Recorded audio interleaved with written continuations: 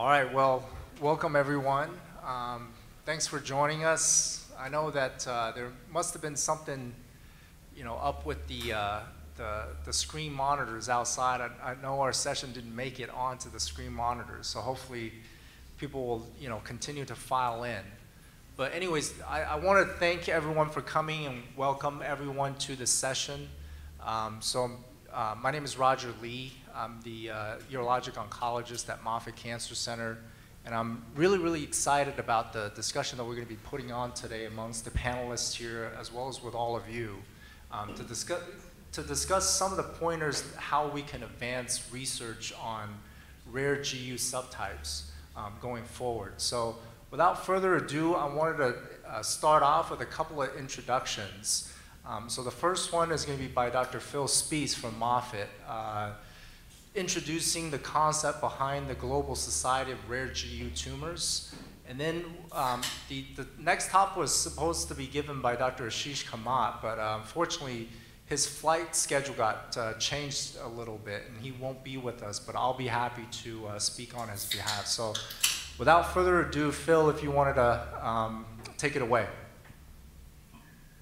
Uh, Dr. Li, there's no uh, sort of, uh, you know, everyone is aware he's been in really, I would say, one of the, I would say beyond rising stars, I would say superstars in urothelial cancer research. And Roger has done some really great research at our institution, but really has embraced being the chair of the genomics committee of the GSRGT and have really done some exceptional work gathering, I would say, very talented people from across the globe and really using really key resources that we have access to. So Jeff Ross, some of you may know, uh, really is a, a, medical director at Foundation Medicine, and these are some of our other ta- very talented colleagues. I've really started looking at variant histologies, at really types of cancers where really we ultimately don't even know key uh, signatures, genomic signatures, or other personalized type of uh, approaches we can take in improving patient outcomes. And this is just one of several projects that Roger and his committee has really led really looking at the genomic characterization of plasmacytoid bladder cancer, also CDH1 specific uh, urothelial cancers, and really identifying what mutations are identified using the ample resources within Foundation Medicine and correlating it with clinical uh, data for, for these patients and really starting to give us the ultimate information we need to understand a little bit better about what are the key drivers that develop these tumors and potentially will help us uh, target them in terms of uh, novel agents. Some of the really great work also that's sort of being conducted is looking at, for example, TMB, tumor mutational burden high, penile squamous cell carcinoma, understanding how immunotherapies may be beneficial, understanding how we could target these, also understanding and characterizing them in both the HPV positive and negative subtypes in terms of really developing key, uh, really understanding how we improve patient outcomes. So the society again was developed over two years ago. I'm very, very proud that I think we have a lot of exceptional initiatives taking place, which I think are ultimately going to improve the care of our patients moving forward.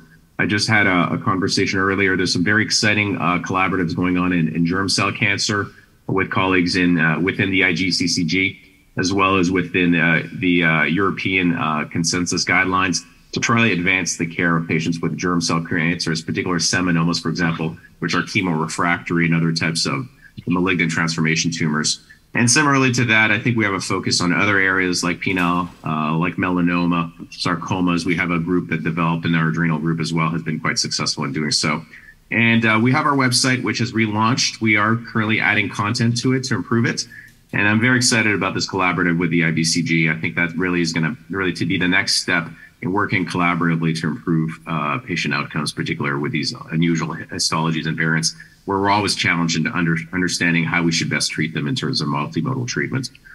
This is my contact and the GSRGT's contact information.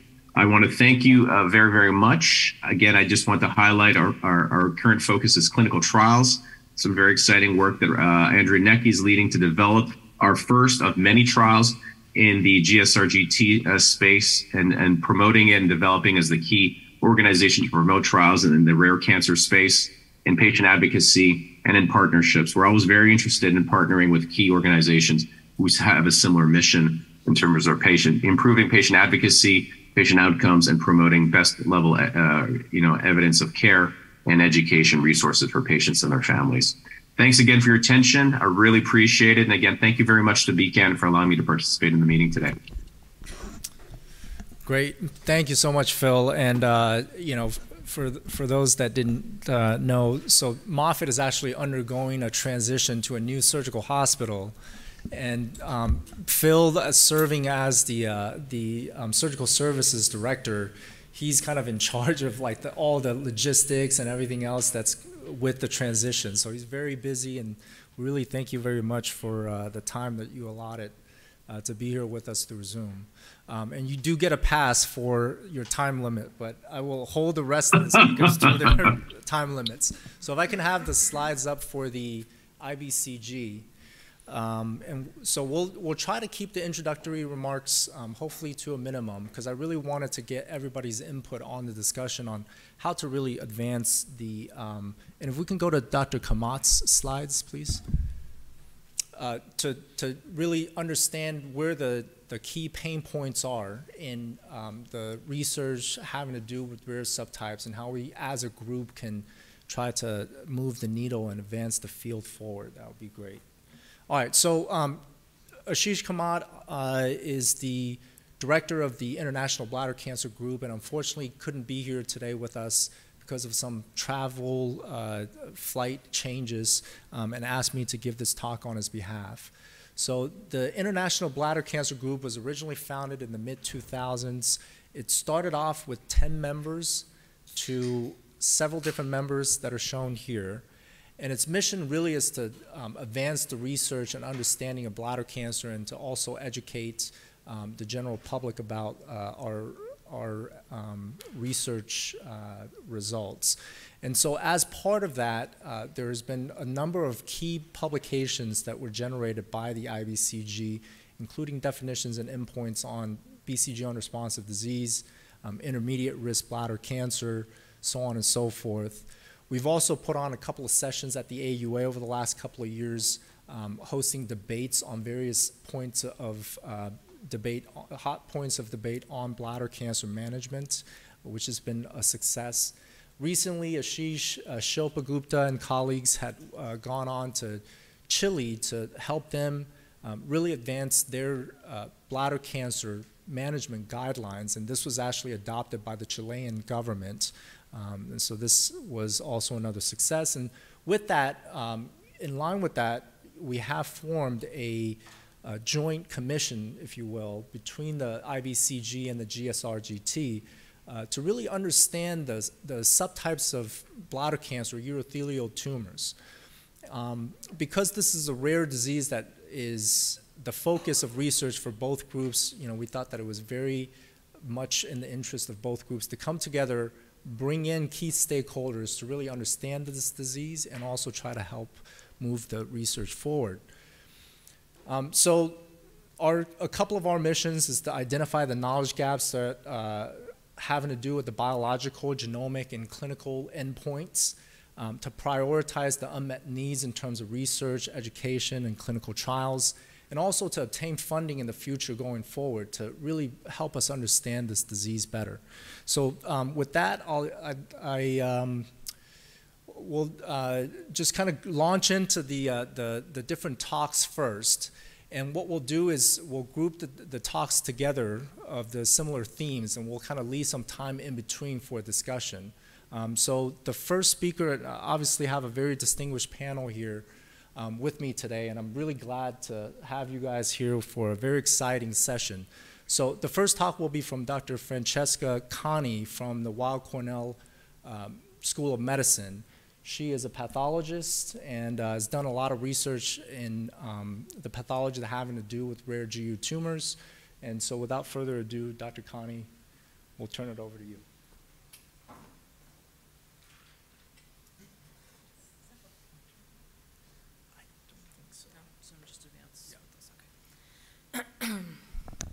Hi, thank you for the introduction and thank you so much for inviting me to give this talk. Um, I'm Francesca Khani, a GU pathologist at Weill Cornell Medicine. And so today we're going to talk about um, what constitutes variant histology in urothelial carcinoma.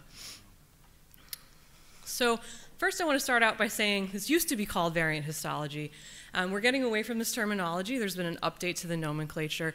And now we are calling these subtypes of urothelial carcinoma. Again, this is in the new WHO 5th edition, which was just released last year. And this updated nomenclature um, has been proposed since um, variant is commonly used to denote genomic alterations in um, all sorts of tumors. And so we are terming the, the variant um, histologic patterns as subtypes now. So for the remainder of the talk, I'll be referring to um, these variants as subtypes, or I'll try to. I, I slip up sometimes too. Um, so this is a list of the urothelial carcinoma subtypes. Um, you have conventional urothelial carcinoma. There are urothelial carcinomas with divergent differentiation, um, squamous, glandular, and trophoblastic, which I'll touch on. But really, I'm going to focus on um, these the, the, rest of the um, tumors in this, the, the, rest of the patterns in this list, which are the histologic subtypes. Um, major change on the only changes from the 2016 um, fourth edition of the WHO are just some slight modifications to the um, to these subtypes, namely that large nested urothelial carcinoma is now a separate subtype from nested. Those used to be grouped. Um, and the microcystic uh, subtype of urothelial carcinoma now includes, um, we've added tubular to the name because that can have a tubular pattern as well. But aside from those, um, these subtypes have been the same um, from the prior edition. And what I really want to focus on in this talk um, are these subtypes, micropapillary, plasmacytoid, um, giant cell, sarcomatoid, and poorly differentiated. I want to draw your attention to these because these have the strongest evidence of having more aggressive behavior um, than conventional urothelial carcinoma. Um, micropapillary plasmacytoid and sarcomatoid are a little bit more common. Um, giant cell and poorly differentiated are exceptionally rare. Um, we don't have a lot of data on those, but nonetheless, they are more aggressive. So one point I do want to bring up right away is that um, there's ample evidence to show that subtype histology in urothelial carcinoma is definitely underreported. Um, in community practices, a lot of community practice pathologists um, don't report these, they're sort of underrecognized. Um, and patholo central pathology re-review does um, have a lot of uh, reclassification of these tumors when um, reviewed by subspecialized GU pathologists. And so why does this matter? Why should we care if subtype histology is being underreported? Um, so for non-muscle invasive bladder cancer, as you know, the NCCN guidelines, which are based on the AUA risk groups, um, they consider subtype histology a very high risk feature. Um, so that affects treatment decisions, putting patients in that very high risk group. Um, the biggest treatment decision it affects is that it does warrant at least consideration of early cystectomy for PT1 disease in patients who have um, um, these subtype histologies. Um, and again, uh, they specify that micropapillary plasmacytoid and sarcomatoid are um, very um, are aggressive, and so those, those are the ones you really want to consider um, early cystectomy. And I would probably throw in giant cell and, and poorly differentiated into that as well. For muscle invasive bladder cancer, um, subtype histology also matters, uh, more for prognosis than for therapy, um, because the prognosis in uh, urothelial carcinomas that are stage PT2 to T4 are not influenced just by pathologic stage at cystectomy, but also the presence of these aggressive subtypes. Um, there is also some retrospective data to suggest that there's limited benefit to neoadjuvant chemotherapy, particularly in the micropapillary and sarcomatoid subtypes. But again, this is retrospective data. We haven't changed our management or, or have um, you know, recommended not to give neoadjuvant therapy, but there is some um, data showing that there's not as much benefit to that. So focusing on these aggressive subtypes and what we see in um, pathology. So the first subtype is the micropapillary subtype a first aggressive subtype. Um, this is composed of small clusters of tumor cells. They don't have fibrovascular cores, and they're surrounded by these lacunar spaces. Um, generally, you want to see multiple clusters of tumor cells within a single uh, lacunar space. There have been studies, reproducibility studies on this showing that that's actually the best uh, histologic feature for um, diagnosis. And these are often, uh, you do see a high um, rate of overexpression or amplification of HER2, neu, which may have treatment implications in this um, tumor. Um, I want to touch on interobserver variability in some of these subtypes, and there is quite a bit of interobserver variability with micropapillary um, subtype because a lot of tumors, even just a conventional urothelial carcinoma, can show what we see uh, we call retraction artifact around the tumor, and that can really mimic um, micropapillary histology. So um, that's one uh, source of interobserver variability. But again, the most reproducible feature is these multiple um, nests of cells within one lacunar space. Move on to the plasmacytoid subtype showing this low power image on the right. Um, you can see, I don't have a pointer, but the top of the image has the urothelial surface, the lamina propria below it, and then the deep muscularis propria layer at the bottom of the screen. And um, what you can sort of see are these blue cells kind of trickling. There's some chronic inflammation in there, and then there's this other kind of loosely, uh, loosely cohesive um, group of blue cells kind of traversing the lamina propria and muscularis propria. And at higher magnification, uh, we see lymphocytes are on the top, those dark, dark blue cells, and then infiltrating below and through that muscle layer um, are these other cells that are kind of basically infiltrative and look distinct from those lymphocytes. Um, much higher magnification reveals that these are single infiltrating cells. They have a plasmacytoid appearance. Note they have very eccentric, uh, eccentrically placed nuclei pushed to the side, and they look very much like plasma cells. Um, they have discohesive growth, and that means that they can spread very easily along tissue planes and peritoneal surfaces, which lends to, uh, we think lends its aggressive behavior. Um, these are associated with somatic mutations in CDH1 and um, loss of E-cadherin. So the plasmacytoid subtype does um, have some inter-observer variability issues. That can arise, mostly because there's a variety of morphologies that can show similarly discohesive growth patterns. I've showed a variety of morphologies on the right, and they all have slightly different appearances. I'll call your attention to the picture on the bottom right um, on figure F. Um, these cells have more of a rhabdoid appearance, and rhabdoid morphology in bladder cancer can also have discohesive growth, and whether that should be put under plasmacytoid, I think some pathologists might classify that as plasmacytoid, and others may consider it separate as rhabdoid. So there are some, um, you know, issues with agreement on this particular subtype that are, I think, still being worked out. Um, the sarcomatoid subtype is basically urothelial carcinoma that has an appearance that's indistinguishable um, from sarcoma. What helps us just diagnose these is when we have a good in situ component. The image on the top left, you see a nice surface of CIS, and then below it is this spindled um, sarcomatoid uh, carcinoma. Really looks indistinguishable from a sarcoma in anywhere else in the body. Um, these sarcomatoid carcinomas, urothelial carcinomas can have heterologous elements as well, and those should be reported. Osteosarcomas, chondrosarcomas, um, these actually portend even worse um, behavior within the uh, sarcomatoid subtype. Um, the giant cell and poorly differentiated subtypes or other aggressive subtypes, these are extraordinarily rare. Um, giant cell subtype basically has bizarre pleomorphic giant cells. You can see a nucleus that's enormous in that photo. Um, and the poorly differentiated uh, subtype basically lacks morphologic features that even point to urothelial origin. So here we, on the bottom right, we see um, just a sheet of poorly differentiated epithelioid cells. And these are both highly aggressive, but again, very rare, and we don't have a lot of data about them. So I'm going to touch on the other subtypes of urothelial carcinoma and mention why they also matter, even though they don't necessarily influence um, prognosis.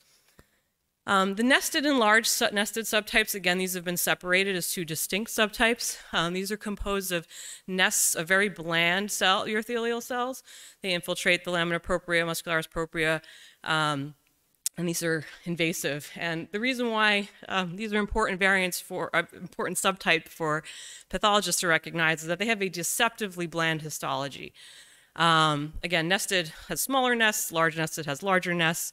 But um, the main point here is that on a very superficial bladder biopsy specimen, where you're only seeing um, the surface, it's going to be very difficult to distinguish this from a von Brunn's nest, which has, which is benign, um, due to this bland histology and the bland cytology that you see here. So they can be very tricky in diagnosis, um, especially in a limited sample, and so um, this is why you know, subtype is important. Um, these subtypes are not, um, have not been shown to be independent predictors of survival when accounting for stage, but that being said, they do tend to present um, at higher stages. The tubular and microcystic subtypes, um, these are closely related to the nested subtype, and they're similar in that they have very bland, um, cytologically bland cells. Um, they line tubular or microcystic descended structures, and again, similar to how the nested variants mimic von Brunn's nest, This tends to mimic cystitis cystica glandularis, which is also which is benign. And again, the bland histology um, in a very limited sample um, can be very easily mistaken for a benign process or, or vice versa. The lymphoepithelial-like subtype. Um, this is composed of sheets and clusters of undifferentiated cells. They tend to have poorly defined um, borders. So the tumor here is kind of the top left and the top right. Um, and below it are these smaller bluer cells, which is the dense inflammatory infiltrate that's associated with this tumor. Um, this, this subtype is important because um, these, they, uh, at least data suggests that they have a, may have a better um, overall survival they do tend to be enriched for PD-L1 expression. Um, and some data has suggested that there's some more sensitivity to chemotherapy, and there's um, some potential for immune checkpoint inhibitors um, as really good therapeutic options for these tumors, despite this sort of poorly differentiated appearance of, of the epithelial component here. Um, this does tend to have a better prognosis. The lipid-rich subtype um, is composed of lipoblast-like cells. So this image on the right, this really looks like, these look like adipocytes. Um, and so you have these, these large cytoplasmic vacuoles indenting the nuclei. These can really, these are important for pathologists to recognize because this can really mimic liposarcoma. So in a metastatic site, this could be very difficult. You, you wouldn't, a pathologist wouldn't automatically think of a urothelial carcinoma, but urothelial carcinoma can have this morphology in this subtype. Um, and again, this is a pretty rare subtype has been associated with poor outcomes, so we might want to move that into the aggressive subtype, but there's overall very limited data about it. The clear cell glycogen rich subtype, um, this time this terminology has been updated a little bit. Um, glycogen rich has been added um, in parentheses to clear cell to distinguish it from a clear cell adenocarcinoma, which is different and more aggressive. Um, this is a urothelial carcinoma that has an accumulation of glycogen in its tumor cells. Um, pretty rare. We don't really know much about its prognosis. And the real important, uh, importance of recognizing this uh, subtype is that it mimics clear cell renal cell carcinoma. So in a metastatic site, especially, pathologists might not be thinking about urothelial carcinoma. Um, and even in the primary site of the bladder, you might think of a metastatic renal cell. Um, so it's very important to realize that urothelial carcinomas can have this morphology. I'm um, just going to touch on divergent differentiation. Um, you can have squamous, glandular, trophoblastic. Um, squamous differentiation, keratin pearls. Um, in the tumor, glandular, you have glandular um, type epithelium infiltrating the uh, lamina propria here. And with trophoblastic differentiation, um, you have these syncytial trophoblasts, big multinucleated giant cells, and they are also HCG positive.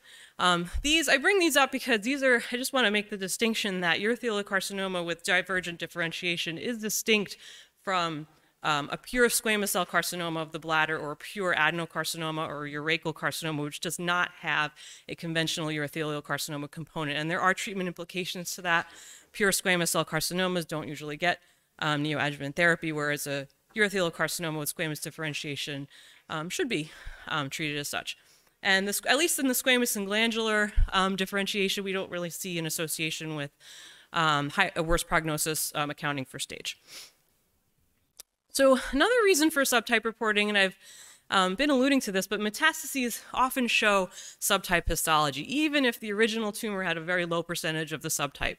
This is particularly true in the aggressive subtypes like micropapillary plasmacytoid, and you might not see a conventional urothelial carcinoma within the metastasis. So being aware um, of that subtype histology is helpful in, in diagnosing metastatic urothelial carcinoma. Um, so if distant metastases are biopsied down the line, if you do have the subtype reporting on the primary tumor, this helps pathologists to recognize it as a uh, metastatic urothelial carcinoma when that might not jump to mind um, right away, as shown by the examples I, I showed. So some of the, one of the biggest unresolved issues with subtypes First of all, conventional urothelial carcinoma is often mixed, has mixed subtype histology. In fact, some of those images I showed you were actually from the same case that showed different um, subtypes within one tumor. Um, we, it is currently recommended to report percentage of the tumor of subtype um, histology, but one of the issues is that there's really no standardized percentage for um, considering a tumor that overall classification of that subtype. For example, like top lining your report as micropapillary urothelial carcinoma, we don't have a standardized percentage for how much of the tumor should show that morphology to classify it overall. Um, in contrast, in breast pathology, we have a very clear cutoff given by the WHO. It's greater than 90% of the tumor has to show the special type of histology like tubular or cribriform, and then it's called an invasive tubular carcinoma. Um, but we don't really have that because we don't really have the data um, to show what that percentage might be. Um, for Dr. Apolo's uh, ICONIC uh, Alliance trial looking at rare GU tumors, we are um, using greater than 50% subtype histology for enrollment. We felt that that was a good cutoff. At least the majority of the tumor had that subtype because it is actually pretty rare to see um, urothelial carcinomas with a pure um, subtype histology. So take home points. Um, reporting subtype histology in urothelial carcinoma is highly nuanced. Um, aggressive subtypes have both prognostic and therapeutic implications. The micropapillary plasmacytoid and sarcomatoid subtypes are the ones to really remember as being more aggressive. And um, I always advocate for central pathology review for clinical trial patients um, by subspecialized GU pathologists when possible, um, because this would really reduce inter-observer variability in um, issues in subtype reporting. Happy to take any questions.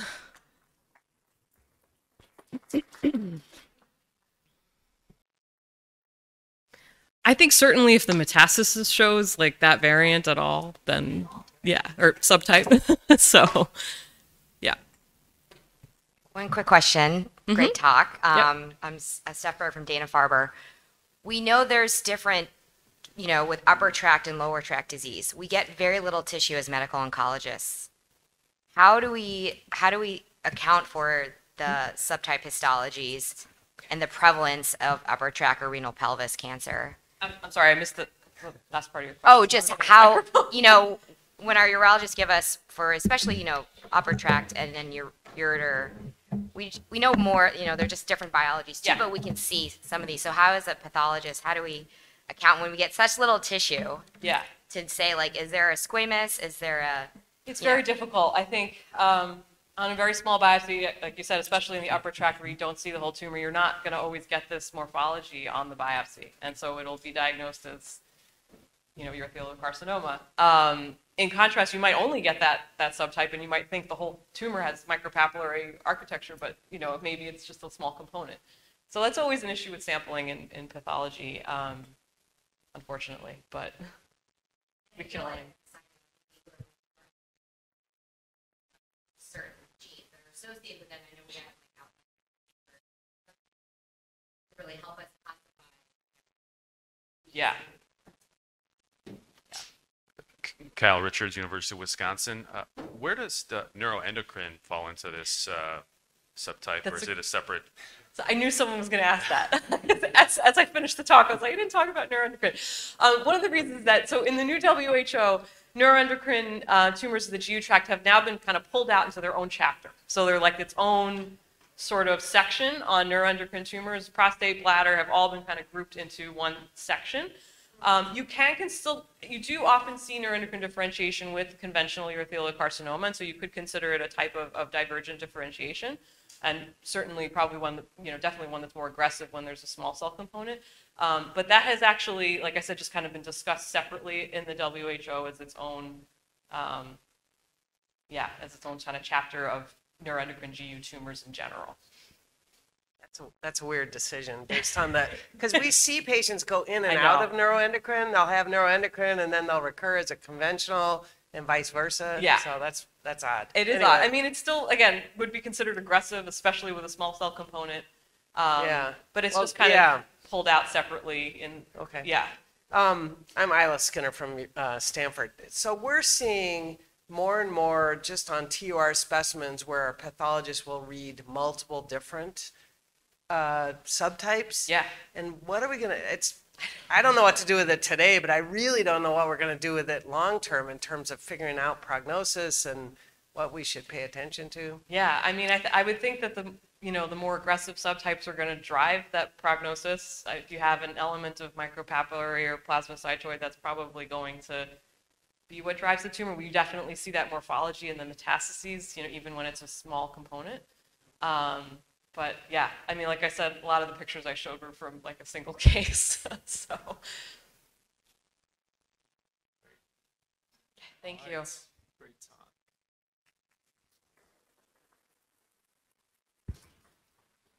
Thank you so much, Francis, uh, for this uh, excellent talk. And we will move directly to uh, another talk exploring the rare variant subtypes in bladder cancer with Dr.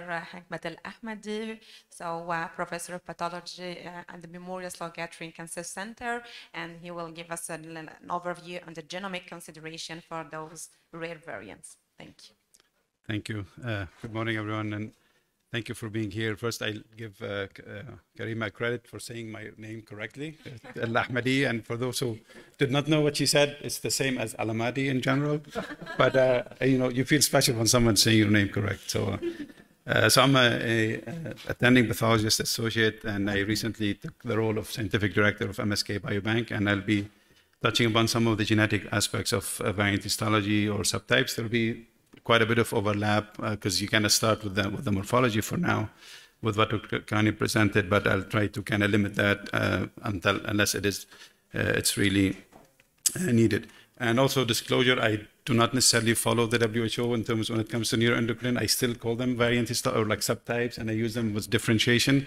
Uh, I, I, agree with everyone. The decision was not necessarily scientifically based, but but we'll deal with it. And maybe with the next round, we'll probably try to revise that uh, that distinction. Uh, just a, a, quick look, a refresher of some of the variant, the morphologic spectrum of urothelial carcinomas. And uh, the way I like to always start with this, because just to show you, can of have a reference point, uh, and also to highlight an important aspect, which is almost every histologic subtype starts from a urothelial precursor. And this is very important to keep in mind that these are not just tumors that develop as they are different histology from bladder. They all have uh, precursors. And if they don't have that, then they become different subtype, like adenocarcinomas if there's no urothelial, as Dr. Khani mentioned, or squamous cell carcinoma and you don't have any urothelial precursor. And that is important because when you look at them, they're not one subtype. They're not variant histology. So when you talk about variant histology, it's important to keep in mind that these are not unique. They're not one entity. Uh, and then depending on the, the mechanisms, how they develop, you could see tumors going from uh, staying as a, as a, a morphologic, as an epithelial tumor, but different histology, like glandular, uh, micropapillary nested, and sometimes they lose their entire epithelial or nearly entire epithelial differentiation, such as uh, neuroendocrine or sarcomatoid. So if you're talking about plasticity, you may be talking about kind of different type of wide categories of plasticities, things that remain within the epithelial category and things that may move into a different line of differentiation. And since all of these you know, uh, subtypes start as urothelial, their, their genetics are going to be influenced and impacted by the genetics of urothelial carcinoma NOS, which is, you know, uh, now we have the most uh, evidence or more comprehensive analysis from the TCGA, which is pretty much familiar to everyone in this audience.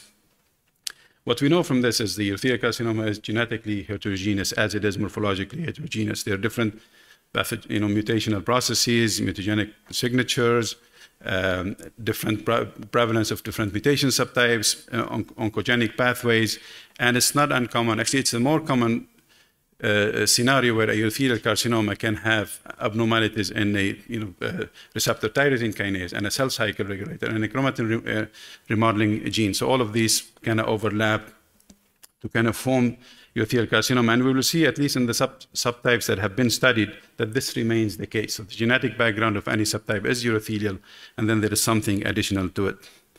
And by expression profiling, uh, again, we have the major divide into basal luminal, and you have the subset of uh, neuroendoc- uh, neuronal or neuroendocrine um, subtype that is enriched in, uh, in neuroendocrine or small cell carcinomas. Uh, remind you that the TCGA focused on no variant histology. The, the, there were strict criteria to include urothelial carcinoma NOS, even though there are a few variants that kind of slipped in, especially the squamous and, and a few endocrine carcinoma. But that also left the, the subtypes of urothelial carcinoma out of these major sequencing efforts. There was a little bit of link to the morphologic subtype, and the subsequent consensus classification would be, you know, the investigators start, you know, uh, accumulating the data that, were, that was part of the sequencing effort. And we can see some, some clustering or some uh, reference. For example, micropapillary carcinoma is clustered in a subset of the luminal uh, uh, subtype, uh, but other, other morphologic subtypes that were in the luminal, including the luminal category, were like nested, plasmacytoid, and angular, angular uh, glandular, according to some other uh, subsequent literature, which was based mostly based on immunohistochemical expression, where people wanted to kind of trim down the, the, the basal luminal ca categories into a few immunohistochemical markers that can be easily or more, or more widely applied. At the same time, uh, basal markers or basal tumors, in addition to the squamous, which is almost universally uh, basal, we can see a subset of the sarcomatoid carcinomas are clustered into the basal subtype as well, and the other part will probably be uh, a stroma-rich subtype, and the lymphoepithelioma-like uh, carcinoma that Dr. Khani mentioned earlier, this uh, also clustered in the basal uh, subtypes. So uh, we mentioned the, um, the, the, some of the specific variant histologies, and I'm going to show mostly two examples where we did uh, a lot of work, and they represent two extremes. One, which is the plasmacytoid carcinoma, where um, since we started developing this interest, and we always likened it to lobular carcinoma of the breast, and we investigated it that way, and we found that yes, indeed, that in, in that tumor is characterized by you know recurrent loss of some you know, E-cadherin or CDH1 uh, in, in, the tumor. Uh, otherwise, if you look at the background, these tumors have a very similar genetic background like urothelial carcinoma uh, NOS. And that finding was, you know, um, important in identifying uh, plasmacytoid histology in mixed tumors. If, you if you have the chance to sequence both of them, as we did here, you could see that CDH1 is restricted to the plasmacytoid component, but not to the urothelial component. But these tumors in general shared alterations. And sometimes in another example, all that you need to do is uh, E-cad stain and can nicely separate the two components uh, uh, for you.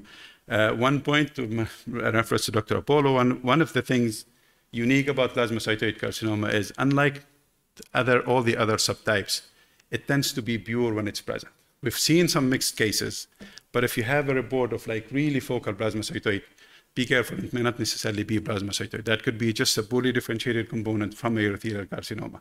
So if you have, if you have the means to confirm it by E-cadherin loss, that'll be great. Otherwise, it's not, it, can I suspect it first before you confirm it? It does happen, and I'm showing you these are two examples here where there is mixed, but most of the times it's nearly pure when it's present. Uh, so that was one example where a unique genetic finding can define a subset for the most cases for now at least. Um, then you will see the other examples, there, there will be no unique genetic finding. Another subset where genomic you know, um, um, sequencing can identify a subset is that the adenocarcinoma, when you're trying to differentiate them from glandular differentiation in urothelial carcinoma, you can see whether it's urachal or bladder adenocarcinoma, they really do not have the, the same genetic events that are commonly seen in urothelial carcinoma, like chromatin remodeling genes are not present, hardly any TERT promoter mutation, but they have enrichment and alterations like KRAS uh, or SMAD4, which are typical of other uh, pure adenocarcinomas in other organs. And how that might be helpful, this is one example. It's rare, so no one should get scared of this, but this is a case where you have, we had a urothelial carcinoma and glandular component within the same tumor, really within a few millimeters of each other, and sometimes we were even intermixed. And the first impression was this is urothelial carcinoma with ex extensive glandular differentiation. When we separated the two components and sequenced them, we started first with our target panel. There were like no genetic, no, there is no overlap. No, no, no mutations were shared between the two components. And, and then if you look at them carefully, you know, or individually, they, they followed with the typical, what we know about adenocarcinomas of the bladder, KRAS P53, and then the urothelial component had, you know, um, two alterations, TERT promoter mutation, RB, and all other alterations. Even though also the two components had P53 mutations, they were distinct. Each one has its, its, its different mutations.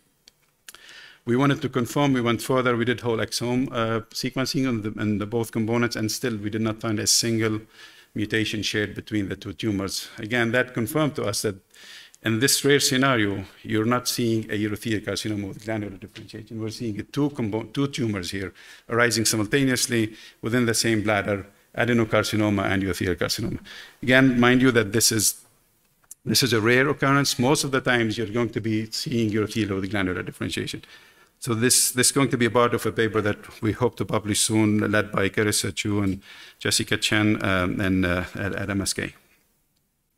So we'll move now to some share with you some of the work that we did recently and published in collaboration with, with the team at uh, UPenn, Hershey, and some other uh, uh, institutions as well. Uh, we studied urothelial carcinoma squamous differentiation. Just a quick reference, you know, this it could have it many different ways. It could be distinct geographic regions of urothelial and squamous, but other times it could be, you know, clusters of squamous differentiation within the bulk of the tumor. Uh, we know that squamous differentiation almost uh, always follows these, the basal subtype, as we can see here in the TCGA uh, paper, where upon re-review of the cases, we were able to confirm that these were all squamous differentiation, and all, almost all of them were in the basal subtype. But at the same time, there is a big chunk of this basal subtype that did not have any squamous differentiation. So that was why we were kind of were interested. Uh, and we went, you know, we, we, we designed a very detailed study. We separated, we combined tumors from Memorial, from Penn State, uh, Hershey, from Vanderbilt, and we did you know, macro dissection and we did whole exome and whole transcriptome uh, sequencing on them. Uh, one thing that stood out, there was a lot of overlap between the urothelial and squamous regions, indicating that they're all arising from the same precursor tumor, but there was like no unique genetic event that could distinguish squamous from urothelial in any of the cases. Uh, so that was a little bit disappointing. Uh, but then something else also came out is that all, there was always higher mutation count and tumor mutation burden and new antigen load in the, in the squamous component compared to, to the urothelial component, and also higher ploidy. So they're indicating that there's more genetic instability in this variant or this uh, divergent differentiation. And when we looked at our prospectively sequenced, sequenced cohort, when we looked at urothelial versus squamous cases with squamous differentiation, the genetic background again was very, very similar, with the exception of some alterations like P53 or CDKN2A, they, which were a little bit enriched in the squamous com, uh, component. Otherwise, there wasn't really uh, uh, you know, significant finding that, that could differentiate squamous from urothelial. So we knew the genetics were not necessarily the driver of subtype, so what else was there? So we relied on the, the uh, transcriptome or the RNA-seq, uh, which as expected, all the squamous components were uh, classified as, as basal, whereas the, urothelial, the corresponding urothelial component were mostly basal, but in, in four of the 12 samples that were successful, they were most more uh, luminal subtype. Again, here when we start seeing some discrepancy.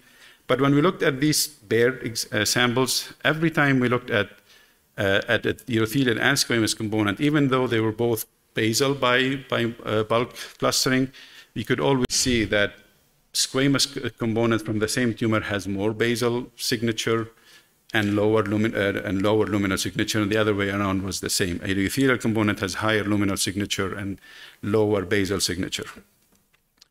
And no surprise when we looked, you know, separate, separated them by histology, they were two distinct groups. There were many differentially expressed genes that were they're mostly pointed towards skin development and squamous differentiation in, in, in other organs. But when we looked also at the individual uh, genes, we, we were able to find that some of these powerful transcription factors uh, that are involved in maintaining urothelial identity and differentiation were the ones that were always, almost always downregulated between the urothelial and the squamous component, namely here FOXA1, uh, GATA3, and PPAR gamma.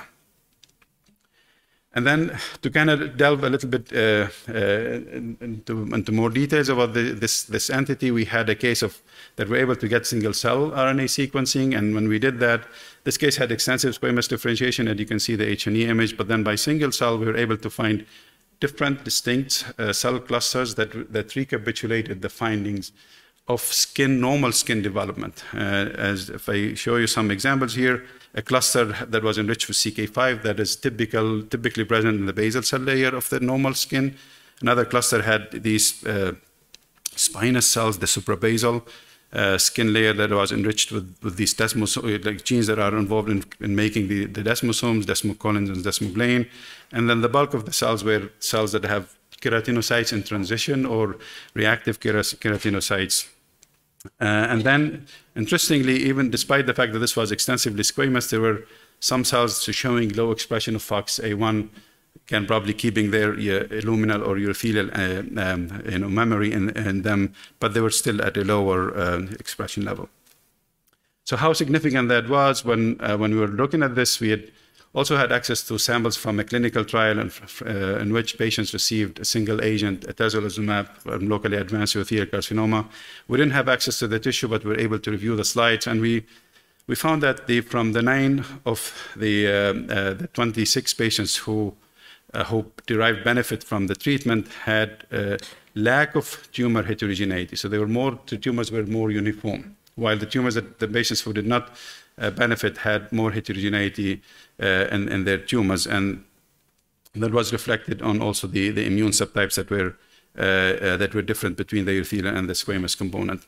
And by immune cell deconvolution analysis, also there were difference, uh, significant differences in the type of immune cell infiltrate between urothelial, the urothelial and the squamous components of, of the same tumor, and that was also highlighted by the PD-L1 expression. So the conclusion was that it, as much as you would like to say urothelial and squamous are two distinct uh, entities and there is like abrupt change from one to the other. In reality, there is always a transition, and depending where the tumor falls, you may be easily urothelial or uh, squamous. I think I should speed up a little bit. Okay. okay. Uh, so neuroendocrine carcinoma was was mentioned in the, in the uh, from the audience, and I agree that this is a unique tumor. Uh, it's still urothelial. Uh, the best outcome is when you have a localized tumor that you can treat with chemotherapy. Genetically, again, we had some, some work done, and then other groups have done the same. There's no unique genetic event that can dictate the development of urothelial carcinoma. The genetic background here is very similar uh, to urothelial carcinoma and is different from small cell carcinoma of the lung, for example. Uh, and then now we have more information about them. How there, there are some major transcription factors that can govern the transition from neurothelial to neural, neuronal subtypes. And these um, transcription factors, uh, ASCL1, NeuroD1, and POU2F3, de define a unique subsets of urothelial carcinomas with different levels of expression of neuroendocrine markers.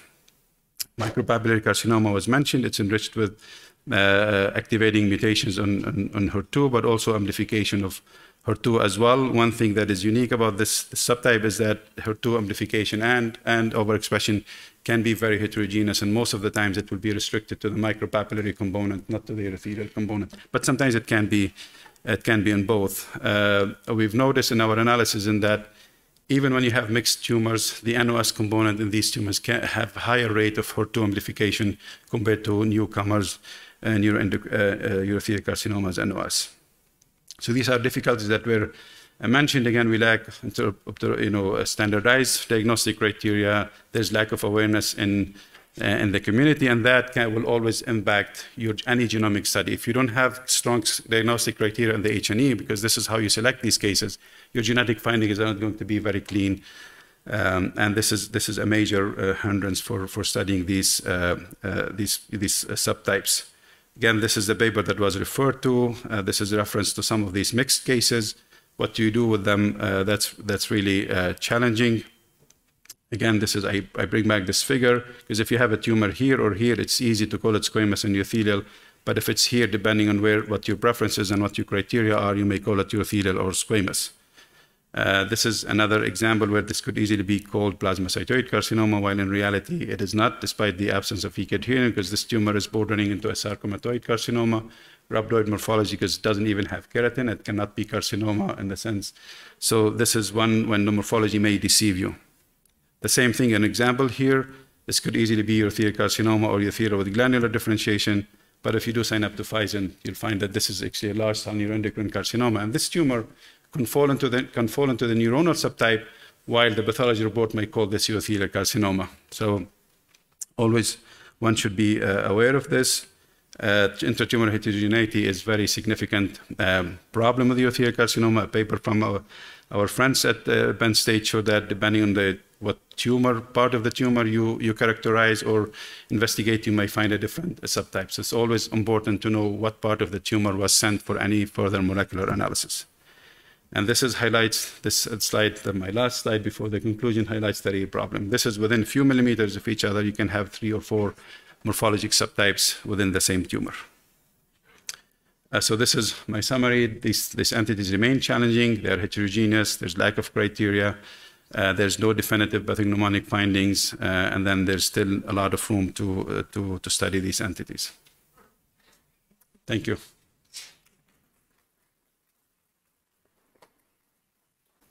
Fantastic talk. Thank you so much. I, I didn't want to cut you off because it was so. I realized I- Content, but, uh, you know, I had to do it. So, you know, we'll, we'll take some time now for some discussion because, you know, obviously the two talks were just so rich in content. Um, I'll start off with one, if nobody's, and, you know, obviously come up to the mic. So, given like the heterogeneity that we're seeing both from the histologic perspective and also the genomic perspective, you know, and also the constraint that we have both financially and also time-wise, pathologists not going to be able to dedicate like 12 hours a day looking at slides or running through genomic sequencing. So from the research perspective, how do you foresee like how should we go about you know understanding this disease? And then also from the clinical perspective, if you can just you know speak to us like given what we have today, what are you going to do about you know characterizing the percentages? Should we use genomic sequencing as an adjunct to the histology reports? Um, Yeah, I mean, great question, loaded question. I don't know if I, I can answer very. Oh, I, I don't know. If I'm, I'm, I'm happy to.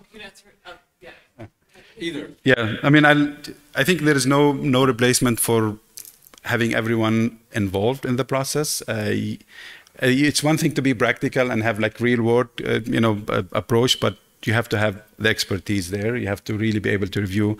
Pathologists are always happy to be part of the process. Uh, hopefully, in the beginning of the process, where then you can you can plan better when you have input from the pathology rather than just come at the end.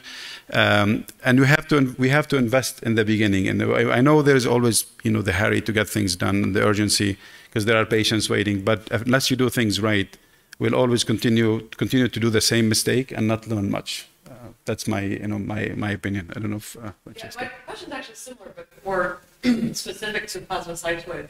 Do you think that, do you define positive plasmacytoid as having E-cadherin loss? Is that like definitionally for you? Is something we struggle with. Sometimes we see like morphology that's really just plasmacytoid, do E-cadherin, it's positive, but it really looks like it's behaving like, you know, So the, yeah, so yeah, the, it's for the most part, it's one of those kind of the cleanest subtypes where you have a genetic event, you have an IHC that corresponds.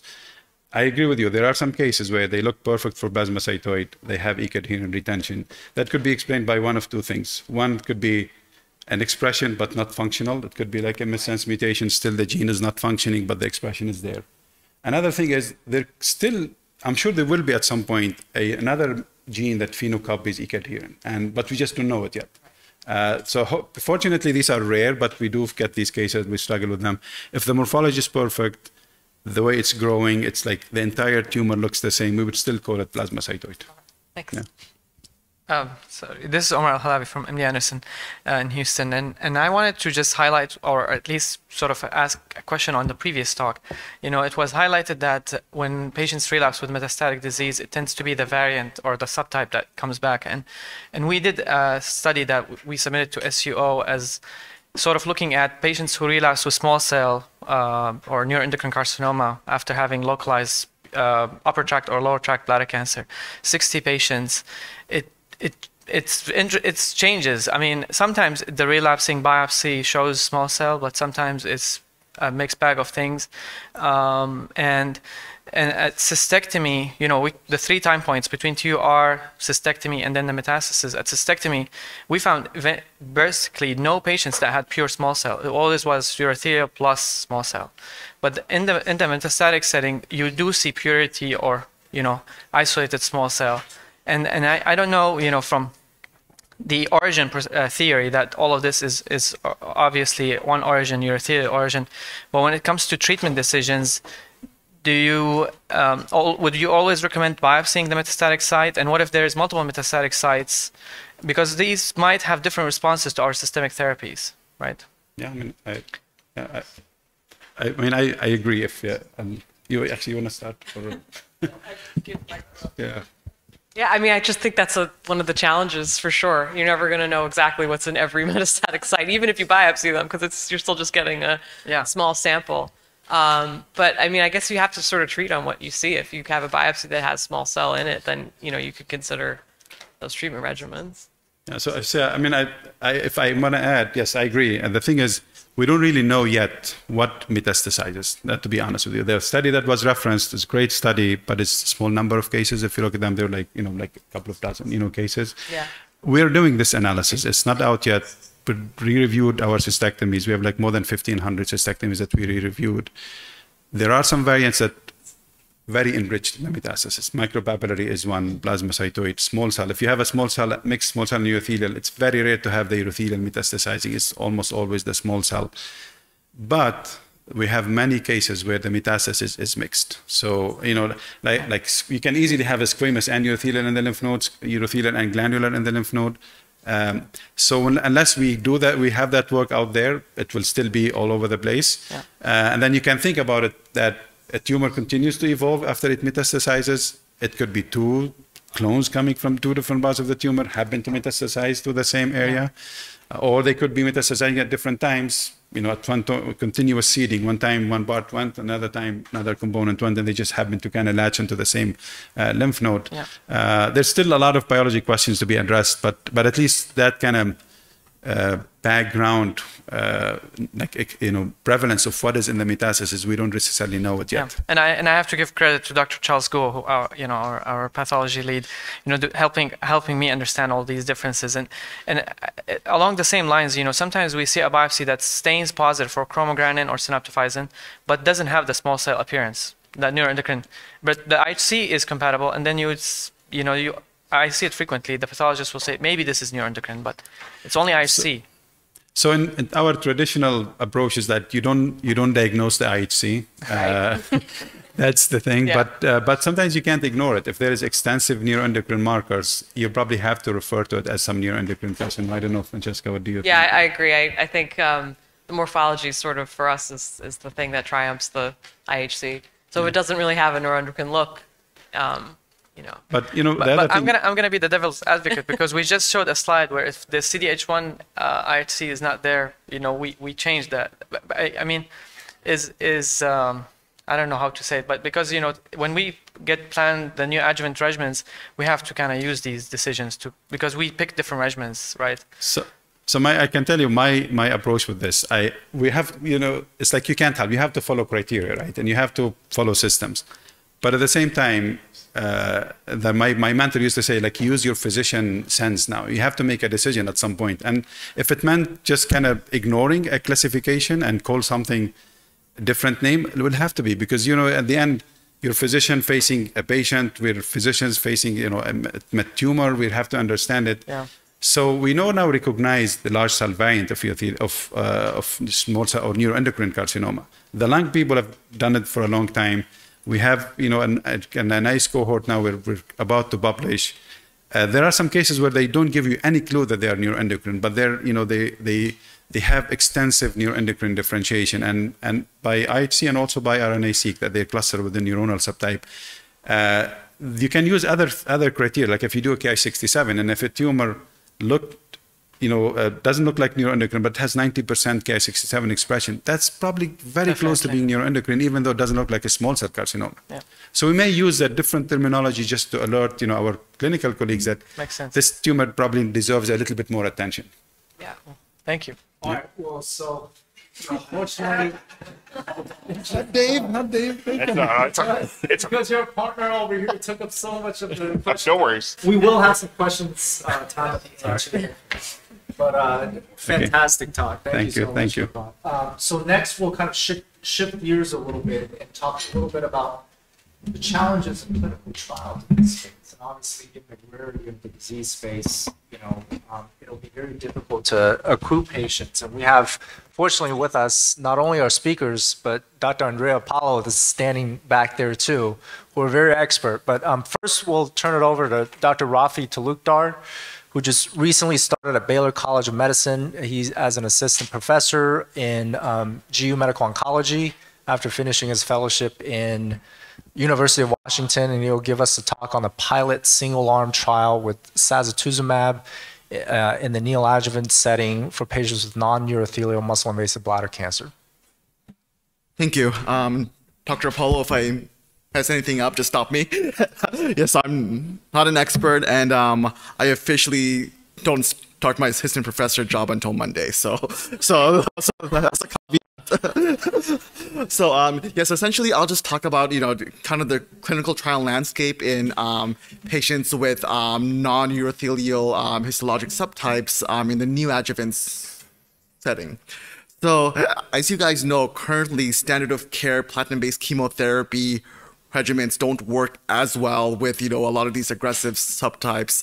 If there's retrospective studies with plasmacytoid, um, micropapillary, um, sarcomatoid, you know, their um, PCR rates, the pathologic complete response rates in, you know, 15, 20%, which is less than what we see with um, the, you know, the pure urothelial carcinomas. So, you know, um, this is definitely an area of unmet need, and we need more trials in this in this space. So as you guys know, there's you know there's been a lot of immune immune checkpoint inhibitor trials in the muscle invasive setting. You know the the Abacus or the atezolizumab, the Nabucco with Ipi/Nivo. You know I'm sure you know a lot of you guys are either the PIs or involved in any of these trials. But I just wanted to highlight this because um, all but one of these trials allowed or or included patients that either had pure or predominant um, uh, histologic um, uh, subtypes. And uh, one thing I'm trying really hard not to say the word variant. So so so do my best. So essentially, uh, the Pure 01, which is a which was a phase two study looking at single agent pembrolizumab um, in patients with um, muscle invasive bladder, um, cancer with um, um, so initially, they they did exclude patients that had pre, uh, predominant um, non-UC histology, but they later allowed it. Uh, essentially, um, uh, uh, people got three cycles of pembro and then uh, went to cystectomy. and if you look at the, if you kind of tease out the data more, you know, kind of looking at the um, uh, the predominant uh, um, histologic pairing population, out of 114, 19 had uh, either pure or predominant uh, um, histologic subtypes. The most common one was squamous cell, followed by nested, and then micropapillary. There were some sarcomatoid, and there were some mixed ones in there as well.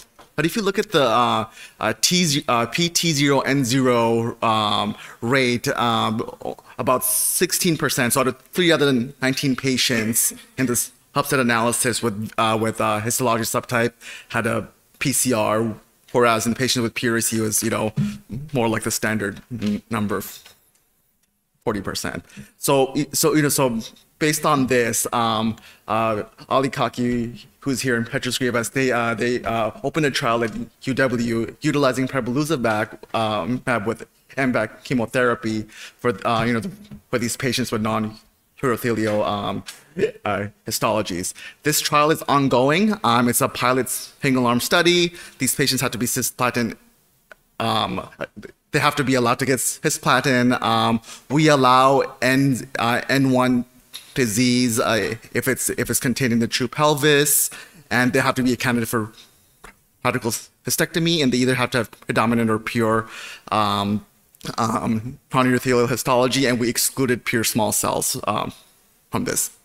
So they essentially get uh, maximal TURBT, and then they get four cycles of uh,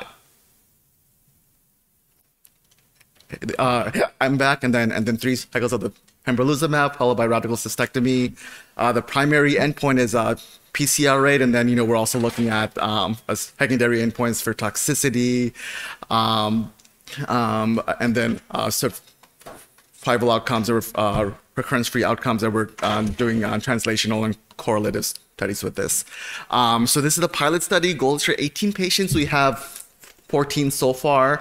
I talked to Petros this morning. Uh, he told me I'm not allowed to say um, the numbers, but it looks pretty promising. So every time I give a speech about this, I have to ask him, can I at least give some preliminary numbers? He's like, no, until it's close. So, so yeah, so the data looks promising with this. And then I kind of wanted to um, highlight a couple of other trials. Uh, Dr. Hoffman and Dr. Kates and John Hopkins has a trial uh, utilizing atezo uh, with platinum chemotherapy and etoposide in patients with uh, small cell neuroendocrine bladder cancer. This trial is uh, uh, currently still ongoing. Um, and essentially it's um, uh, they get a etoposide cisplatin uh, um, plus atezolizumab for four cycles. And then uh, Dr. And Dr. Srinivas in Stanford had a, a nice a small trial uh, using durvalumab um, in combination with platinum-based neoadjuvant chemotherapy, uh, cisplatin or, pla- or, or carboplatin was allowed. Uh, this was a small study, about six patients um, uh, completed treatment. The primary outcome was just safety and toler- uh, tolerability. Um, most of the patients did go to uh, our radical cystectomy. One of the patients had a pathologic complete response rate, and in this trial, three patients got dose-dense MVAC and uh, three patients got Carbogem. And then I, I just kind of wanted to shift towards uh, antibody drug conjugates. As you know, you know, uh, is approved in the metastatic settings, uh, um, as well as um, enfortumab vedotin and now enfortumab uh, vedotin plus pembrolizumab. So we kind of wanted to bring this into the neoadjuvant setting. And uh, according to the TCGA uh, TROP2 data, you know, the numbers are small, but you know, if you look at some of the um, some of the non non UC uh, histologic subtypes, they do have some expression. And then uh, Dr. Fred Ghali, Dr. Wright, and um, uh, team at UW did uh, did recently publish some data looking at differential expression between membrane and cytoplasmic TROP2, um, TROP2 staining, you know, with urothelial and some of these uh, histologic subtypes, and they seem to be really similar. So based on this, you know, we treat, uh, we uh, we created a trial just using sacituzumab um, in these patients that are cisplatin in um, um, not candidates for cisplatin. So we have one with uh, MVAC in Pembro for patients that are cisplatin uh, uh, that can get cisplatin, and then uh, sacituzumab. Essentially, they get uh, three cycles of uh, sacituzumab and go on to radical cystectomy, and the endpoints are very similar. Pathologic complete response rate is the primary endpoint. We just opened this trial uh, uh, in the beginning of the year, and we have uh, one patient uh, so far. So, and then uh, lastly, I just wanted to quickly highlight uh, Nectin-4 because, as you know, uh, EV has um, is approved in the metastatic setting, and EV um, staining shows similar patterns to TROP2. That you know, compared to urothelial, according to the TCGA database, there is some there is some expression, and then uh, Dr. Hoffman and her team uh, did publish uh, showing variable Nectin-4 protein expression amongst among the different uh, subtypes. So based on this, we're working on a, um, ISR, uh, looking at um, EV and Pembro in this setting. Uh, I don't have the uh, schema because we're still undergoing some some modifications. Um, yeah, so essentially, you know, you know, the you know the point of my talk is, you know, this is an area of unmet need. Um, all of these trials are just single single center pilot trials, and we're kind of you know lumping all of these subtypes together. You know, so we definitely need more you know bigger, larger trials. You know, multi multi-institutional trials, you know, international trials, you know, um, we need central pathology review, and I think we need, you know, novel, you know, novel treatments in this space. You know, I think antibody drug conjugates is a good first step, but I think we need to find other, other novel um, treatments. That's all.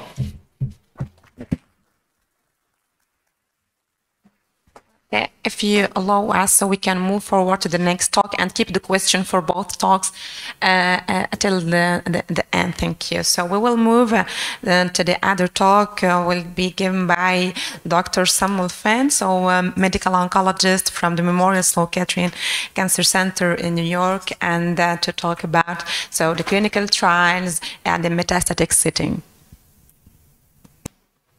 So I'll just go into my intro while they're bringing up the slides. My name is Sam Funt. I'm a medical oncologist at Memorial Sloan Kettering Cancer Center in New York, and I'm very, very grateful to the organizers for the opportunity to speak, and thank you all uh, for your attention. This is very well attended. It's great to see everybody. These are my disclosures.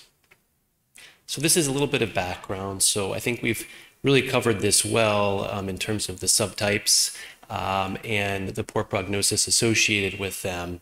And also kind of looking at the trials that we've seen, a number of trials over the past decade, um, looking at immune checkpoint blockade in particular, um, with really limited data on how the subtypes do with immune checkpoint blockade. Um, and so I actually kind of did the work and looked back at a lot of our major trials and went back to the trials themselves, the protocols themselves, themselves, and looked at the inclusion criteria.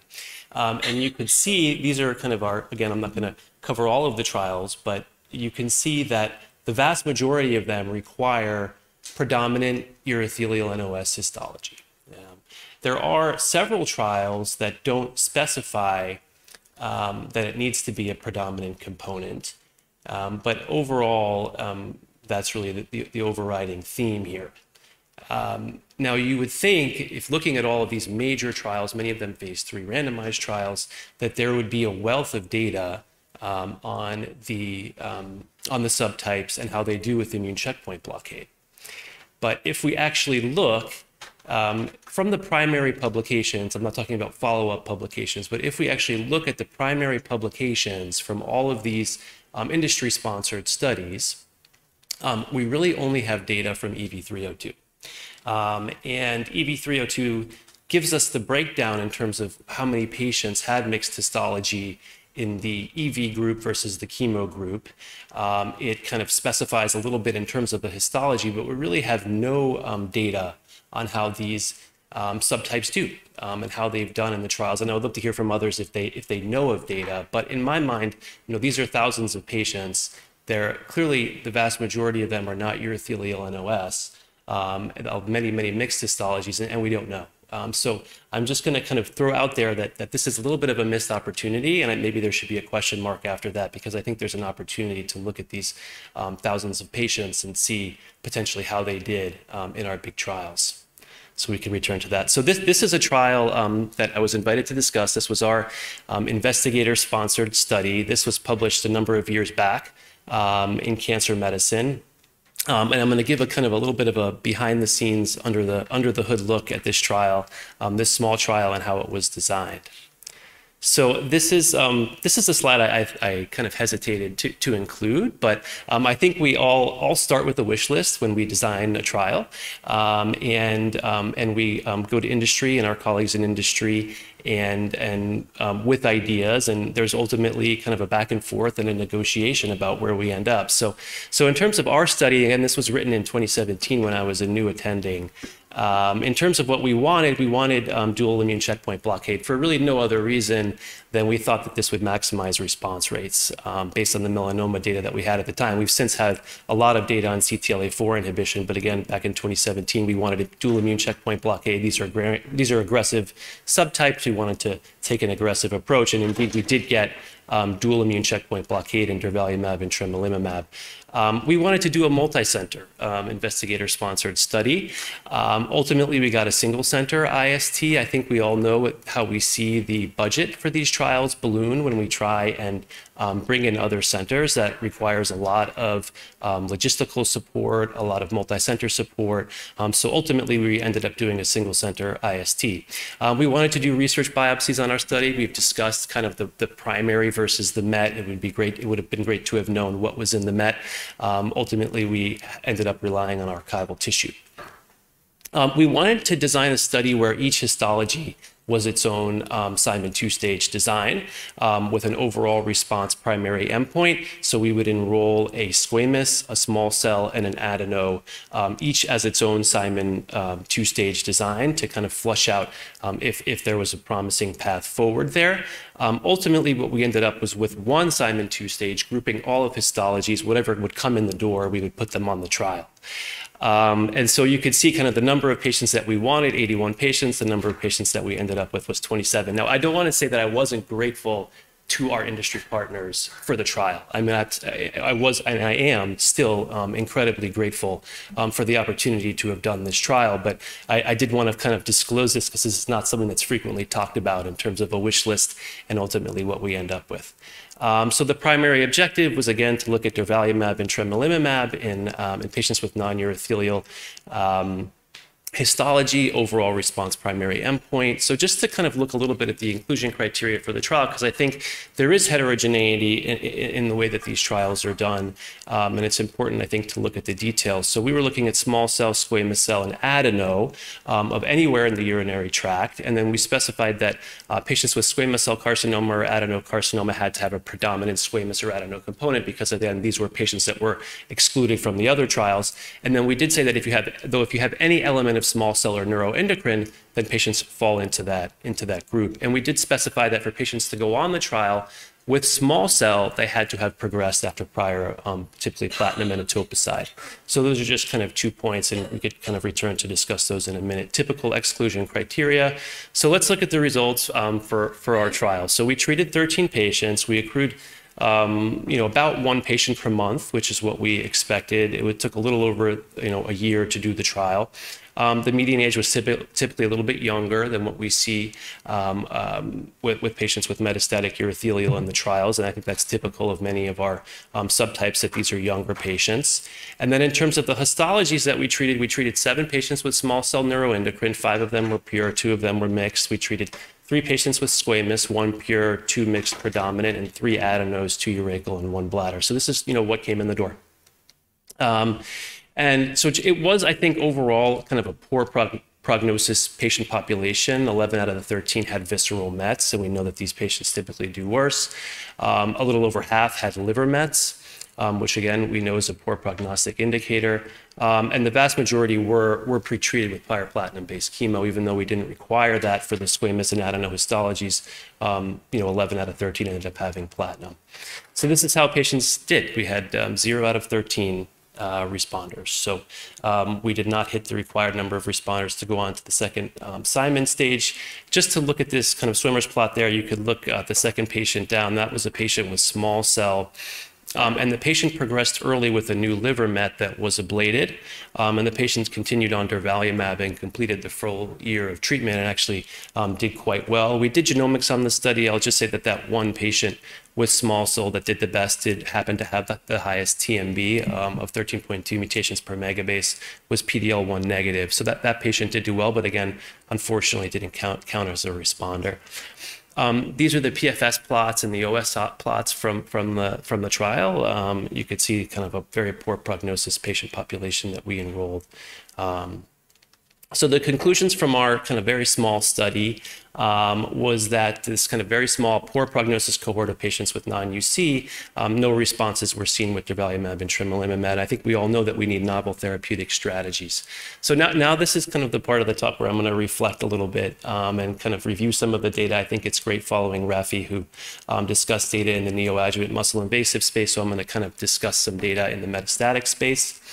Um, so this is the data that's been reported. This is um, Andrea's data um, from ICONIC, um, and she was kind enough um, to provide me with some slides. So this was um, a study where she did Cabo-Nivo, and there's also some Cabo-Nivo uh, and IPI patients that were treated in, in the phase one study. And this is, and she did see responses, kind of looking at the same histologies in terms of 15 urachal and adeno patients that she treated. There was an overall response rate of 20 percent they, she also saw responses in the squamous, um, seven patients with squamous um, histology with a, a, very high overall response rate of 85.7.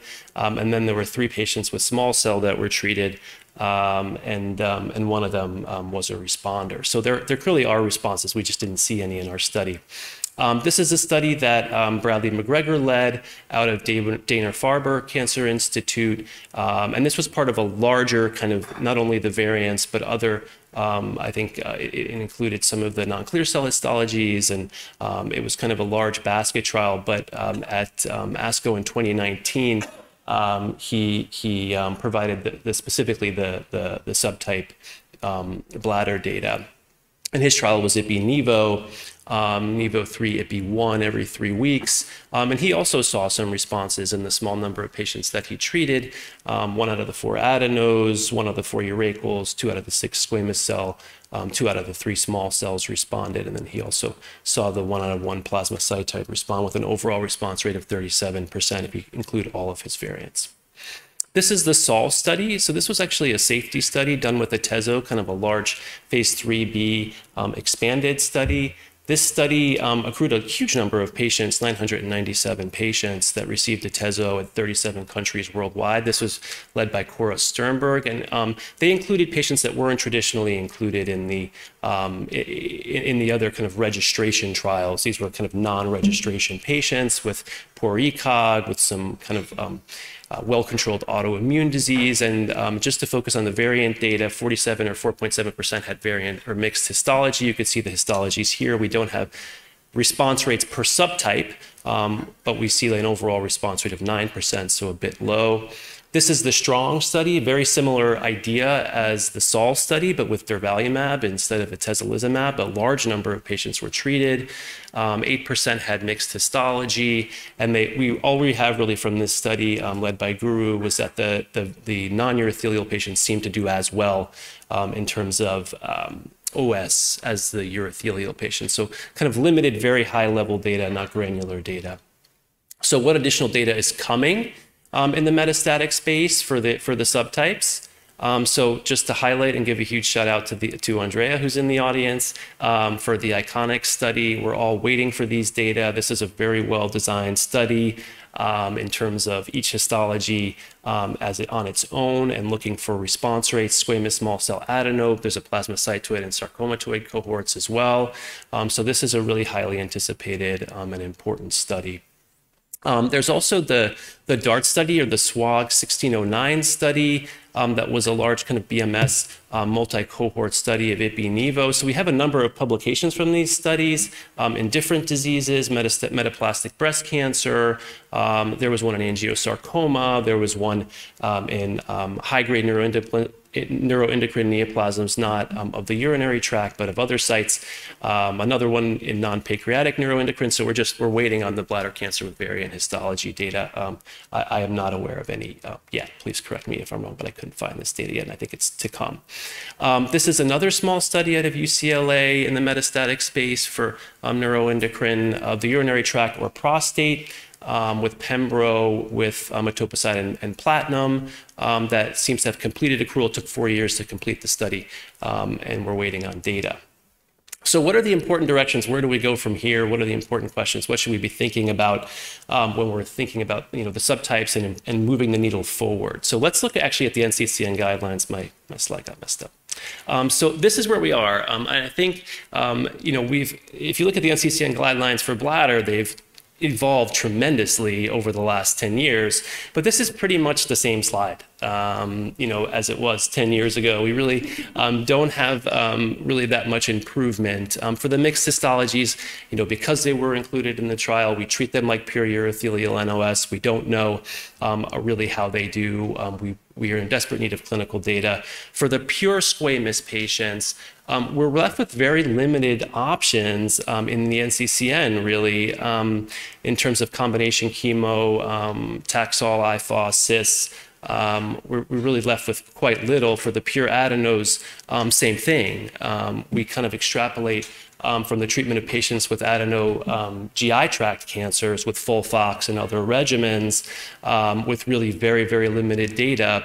Now, for small cell, they've said you could treat it like small cell of the lung um, which I think actually gives us a lot of, uh, you know, a lot of latitude to, to, extrapolate from those patients. And I think many of us are already treating them with combination etoposide platinum um, and either Durva or, or um, Atezo based on the small cell lung cancer data. So we do have some latitude there. I would just say I think we've all gone, those of us who treat patients with variant histologies, um, particularly the pure squamous and pure adenos, have been on the phone with, with payers trying to get immune checkpoint blockade approved, but have had a difficult time because again we don't have NCCN um, guidance there. And I would and I would think, particularly for the pure adenos, maybe we should have some more latitude in extrapolating from colon cancer, um, like we do for small cell of the lung, um, and maybe we should kind of be referring to the NCCN guidelines for colon because I think that's what many of us are trying to do in practice. So just um, as one, um, you know, kind of um, another question, should we be doing industry-sponsored studies or should we be doing ISTs? And this is one example from non-clear cell RCC that I think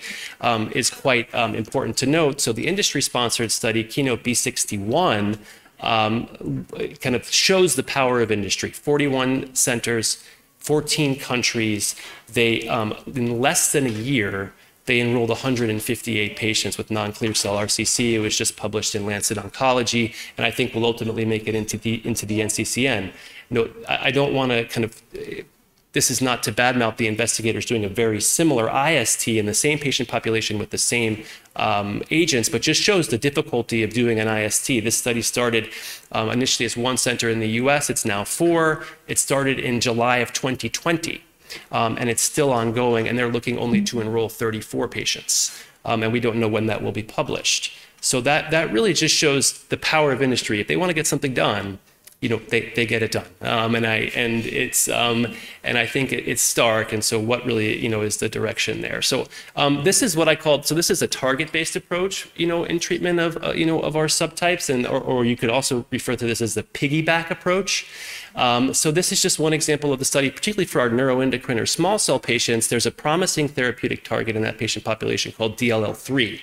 And I think a number of companies are targeting that. This is one example um, of a study which we have open. And it's a study really designed for small cell cancer of the lung.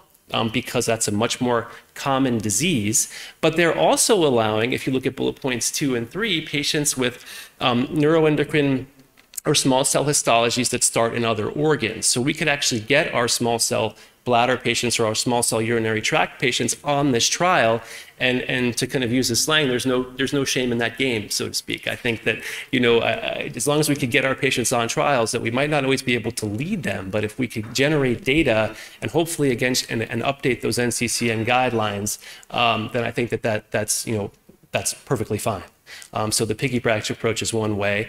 Um, I, um, oh, I'm missing a slide here. Um, I, I, did want to give out a, a shout out to the, um, the Global Society of Rare Genitourinary Tumors. I think we saw some great data recently in penile cancer, um, which is another rare disease that Talal El-Zarif um, presented at GU ASCO this year, where there was hundreds of patients with penile cancer that he gathered from around the globe.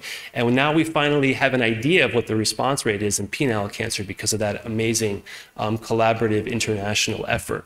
Um, so I think that that's another great example um, of how we can move the, the, the, um, the, the needle forward. So we have to collaborate. We have to collaborate with industry.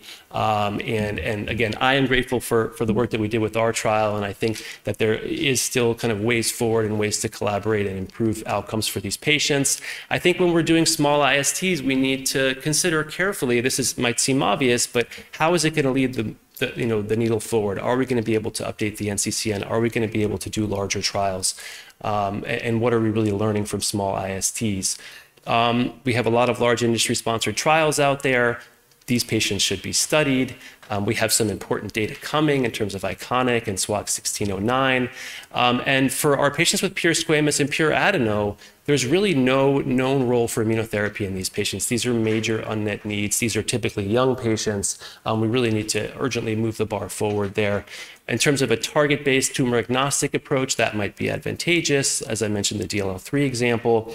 Uh, we need more science and we need more collaboration always um, um, to move the, the, the, bar forward. I, I love the GSGRT. I'd love to be a member of that that club if you'll have me. Um, and I think that, um, that, that, there is kind of hope for the future and, and moving the, the needle forward. Thank you so much for your attention, everybody. Great, um, fantastic talk. And uh, you're absolutely invited to be part of our group um, moving this forward because you've done a lot of thinking about how to move this disease space forward, Sam. So, you know, I wanted to kind of open it up again for some time for discussion. Um, one of the questions that I had, uh, Sam and, and uh, Rafi, for you both, and also for Andrea, you may be able to speak to this. How do we get it done? I know it's going to be a loaded question too, but you know, obviously in the kidney cancer um, setting, they went to industry. I don't know how they got industry to get interested in their uh, their concept because I've talked to industry about even like genomically sequencing a lot of tumors, and they show no absolutely no interest whatsoever. Um, so how how do you engage industry to better run these studies? And then just from the design standpoint, since you know um, Hikmat and and uh, and um, uh, Francesca have have told us that there's no targets for these specific subtypes. So how do we actually like tell what type of therapy to use for um, some of these? Do you basket them all in one trial, go through different sequential treatments? How do you do it?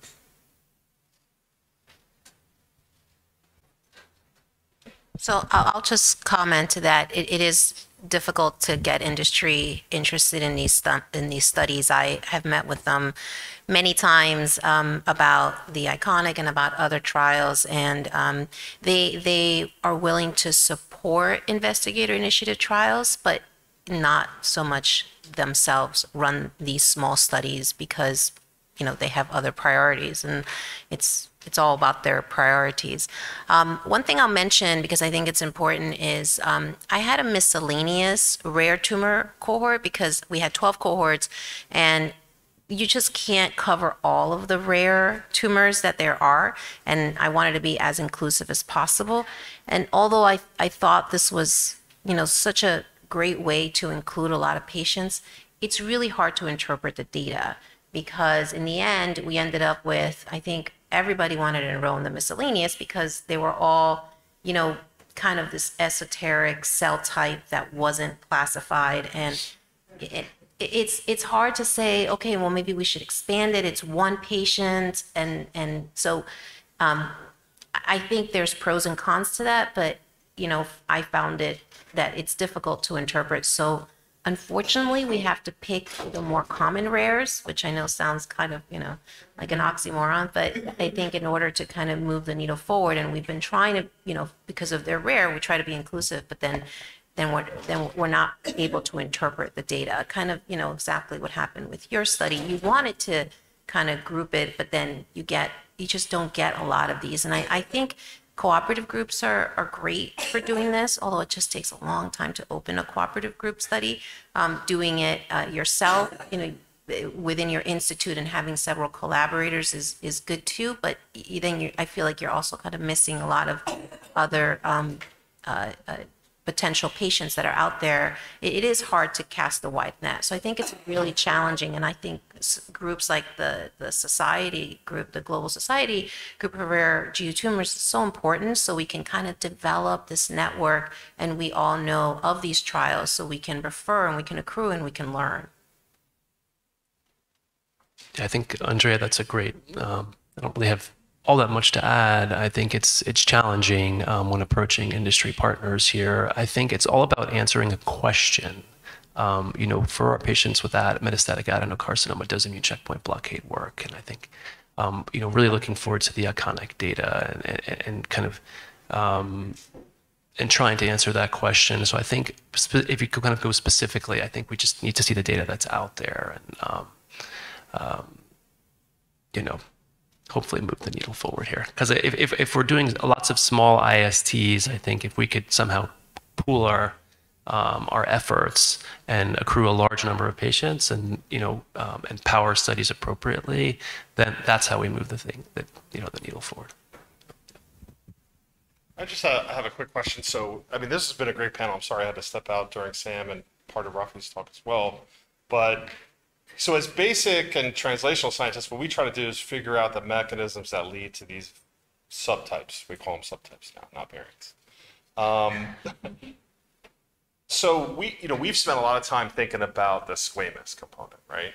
Um, but I think this panel has inspired me a little bit in some of my conversations with Hikmat, I think over the years too. So if we were to think about the next variant to really focus on, right? There's lots of things to think about.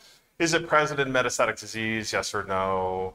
How rare? Is it more common of the rares or uh, um, what should we focus on? Like, what should be the next thing? Is it like I feel, I'm feeling like sarcomatoid today. uh, but is there, is there, uh, I, so, you know, we have a panel of medical oncologists, urologists, our esteemed pathologists. What do you guys think? I, I think we, we should go after what's most common um, and kind of start there. Um, what's affecting the greatest number of our patients? Um, you know, and, and I think our pathologists can, can help with that. And I think there, like I said, there is data out there on how these subtypes actually do from large trials. If we could just somehow collect that data um, and look at it, even if it is retrospective, that's better than than nothing, um, which is what we what we have now. Um, I'll, ju- I'll just add that I also think um, this target-based approach, the DLL3 example um, being one, where if there's a promising therapeutic target, then, then we should run with that, even if it's um, an add-on to another disease, uh, uh, even if it's an add-on to a trial that's really geared toward another disease. If there's a promising target, then we should generate that data. And I think if our, you know, if our industry partners see that there are responses, then they'll run with that. I mean, I, to, to answer the question simply, whatever variant or subtype that you have access to and good material, you gotta work on that one because all of them are important. We're, we don't know much about pretty much any one of them. So there's all there's need on all of them to do something. And if you have access to a, unique cohort, you know, clinical colleagues, pathology colleagues, that's what you got to go after. Any any additional piece of information and knowledge is very is very important, going to inform us in dealing with other with the other subtypes. Yeah, this this is a great session, and one of the reasons it's such a great session is because it's so interdisciplinary. Um, I wanted to make two comments. You know, uh, from from a surgeon's perspective, the thing I always get nervous about with a trial for that's neoadjuvant is that the therapy you're choosing is not going to work and my patient's going to progress and four months have gone by and man i might have had a resectable disease that because i put this patient on a trial it's not resectable.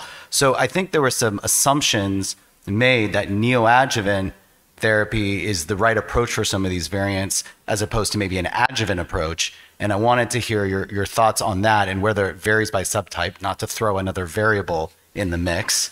Um, but then there's sort of this broader question that's also interesting, which is how do you negotiate IITs in a perioperative setting?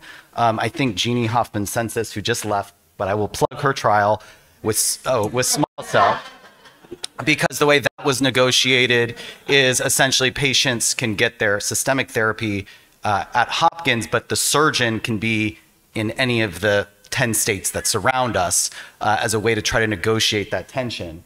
Um, and I think we're going to need to be creative uh, in, in, that way. And then, you know, we can't have, I can't see a patient with a variant histology and say what surrounding five states is there a, a trial with this variant. We, it has to be under one roof. And so I do think cooperative groups uh, with some type of basket design where we have an answer for five to seven variants is going to be the, the way to actually do this. And it'll take eight to 10 years. So would love your thoughts on that.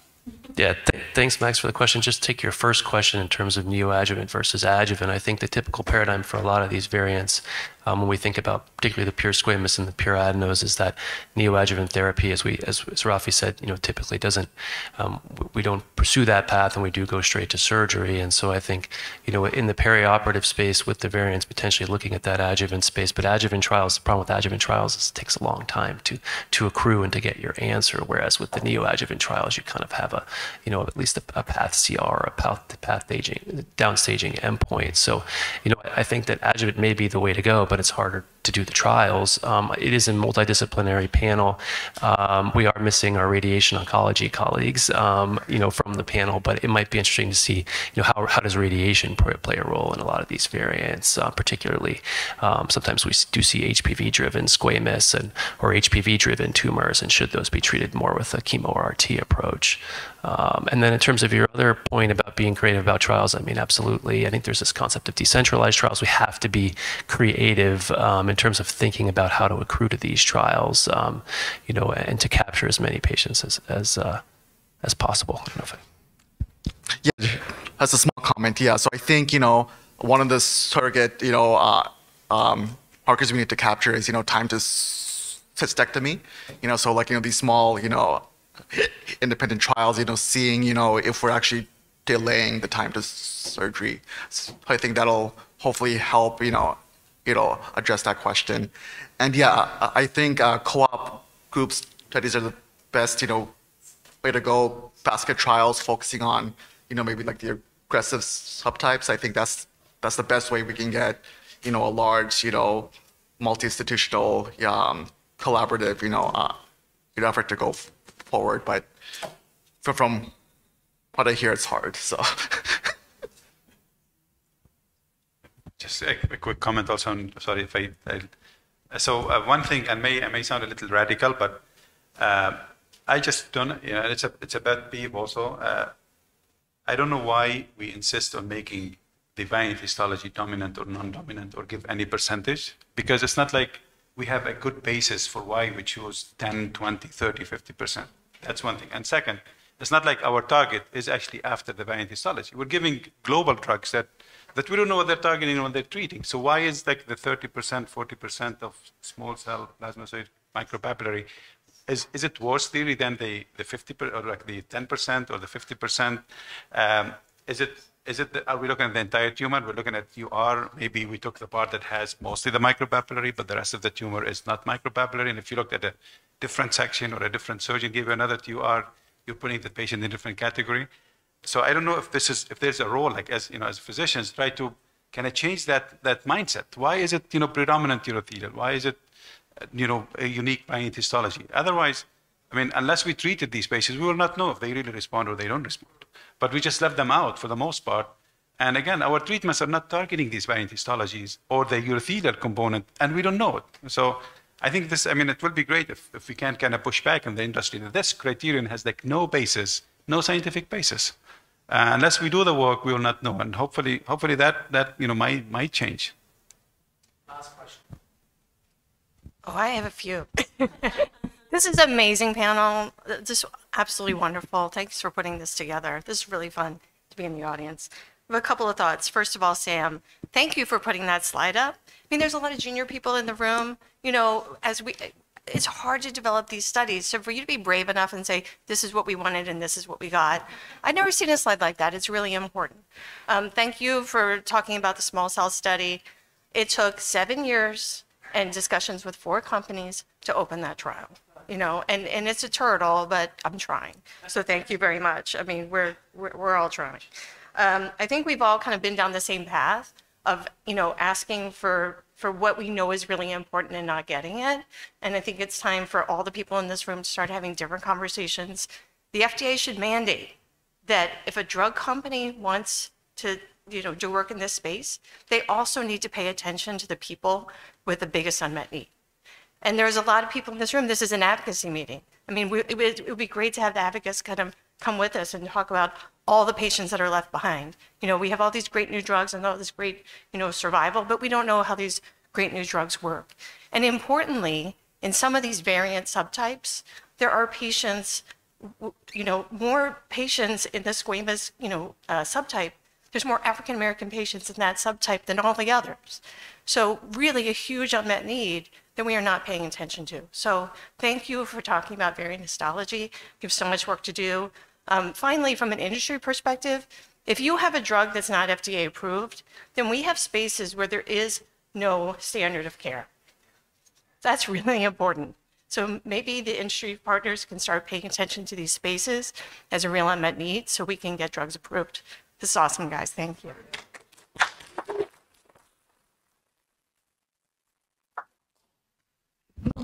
All right, so um, Thank you so much for that impassioned statement. I, I definitely um, second your opinion. So last but not least, I want to turn the floor over to my uh, co-chair, Karima Oualla, um, who actually came all the way from Morocco. Um, so she's an assistant professor at Hassan University in Morocco, uh, associate professor, I apologize.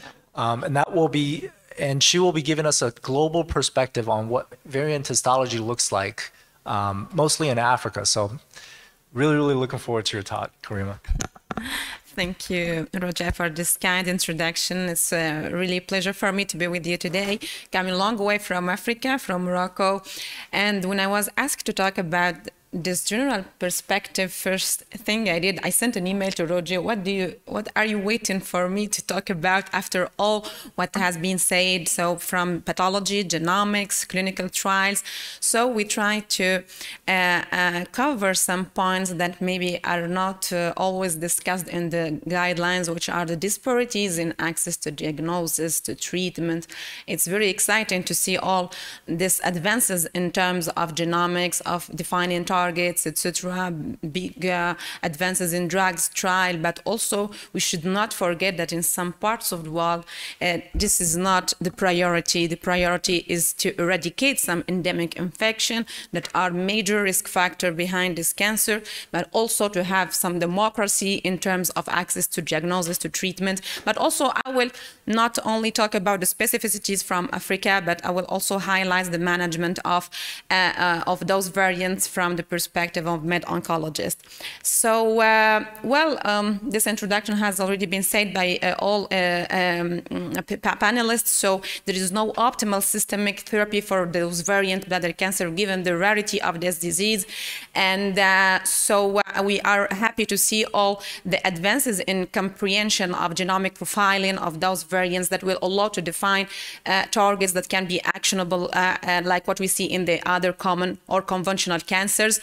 And I think that there is a huge need of co collaboration. So in order to have strong data coming from uh, uh, from trials, because we still have uh, data coming only from case series, databases, expert opinions, and some small uh, single arms. So since I will be talking about specificities in Africa, so here is a study, um, a meta-analysis including uh, 22 studies carried out across 15 uh, African countries with the objective to, to determine the incidence of bladder cancer in, in, in Africa. And we can see here that the pooled incidence was estimated to be uh, 7 per 100,000 population in men and 1.8 uh, for uh, women. So it's predominant for male cancer also in Africa. But we can also have that in Africa, we have disparities across the same continent. So we have higher incidence when we move to Egypt, for example, uh, Tunisia, Libya. Well, for my country, Morocco, uh, bladder cancer, it's not that a huge public health problem like it is in Egypt or some sub-Saharan countries like Tanzania and others where we have endemic infection that is behind the high incidence of uh, uh bladder cancer. So this is the statistics of Morocco from GLOBOCAN. So you can see that for male uh, population, it's the fourth one. Uh, but when we move to Egypt, it's really a huge public health problem. So for both genders, it's the third one behind the uh, hepatocellular carcinoma, uh, also due to a viral infection that is very common in Egypt, and then breast. And when we move to male patients, so it's the second one after uh, liver uh, uh, cancer. So it's not prostate, it's not lung, but it's not hepatocellular carcinoma and bladder and the second rank. So uh, here also, I can um, you can see that for the, the, the, histology, we see clearly that the squamous cell carcinoma is the predominant subtype in Africa, uh, with this strong link I mentioned with the bilharzia infection. And you can see that from mm, from country to country there is a difference, but we have uh, between 30 and 70 percent of uh, histology that is attributed to squamous cell carcinoma. So this is the predominant subtype that we have in the continent. So when we move uh, to the management of bladder cancer in those different countries, so we can see first of all that uh, I think the, the thing that, that stopped me first is, you know, the rate of advanced disease, which is huge. So we have more advanced T stage, more node involvement, more metastatic stages, and 27% of uh, cases are inoperable given this, uh, based on this advanced stage. So this is make prognosis poorer. And uh, uh, uh we have also uh, tried to understand or to, to, to, see what had, how is the sensitivity to treatment in those countries. We have different references here, and we have uh, reported some radio resistance and chemo resistance for this squamous cell carcinoma compared to the common urothelial carcinoma. So I think uh, one first key message from Africa that we have a growing incidence of Fortunately, we have now more and more eradication of the infection. So especially in Egypt, uh, where we have this decline in terms of uh, bladder cancer incidence, but we still don't have accurate statistics uh, uh to, to, to confirm uh, this. Also, we need uh, really um, accurate data, accurate sources, and the collection of data from all. so because we don't have really accurate data about the, statistics in Africa.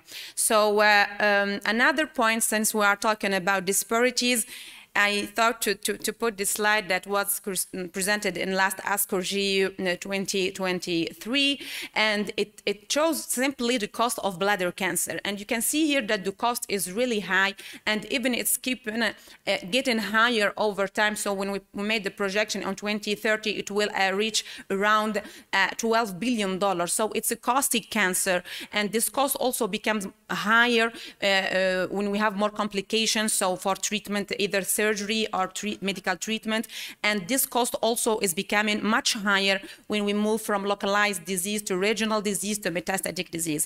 Why I uh, I mentioned this. Um, this uh, this uh, particularity of the cost of bladder cancer just to let you know that yeah we are happy to see those genomics and those uh, drugs uh, and in the ongoing trials but also this cost is really uh, a barrier for for many countries um, talking about Africa to have access to correct health care uh, for bladder cancer but also for all the other cancers so, uh, well, let's uh, move to the variants uh, and the highlights and the management and some particularities. And I will start with squamous cell carcinoma that I have mentioned is the most frequent subtype in Africa. And uh, the management for sure for localized disease for early stages is based on cystectomy. We had uh, local recurrence that is common uh, and which is, which is responsible to uh, poor su survival. And um, so there is no proven role of chemotherapy in the early stage, so for, for the neoadjuvant and adjuvant, but we have more radiosensitivity that was reported in the Egyptian series, so where they compared, for example, in this study, the radiotherapy in the post-operative setting compared to cystectomy alone, and you can see here that the five-year uh, uh, disease-free survival was improved with the use of post-operative radiotherapy with 41% versus 25 for cystectomy alone.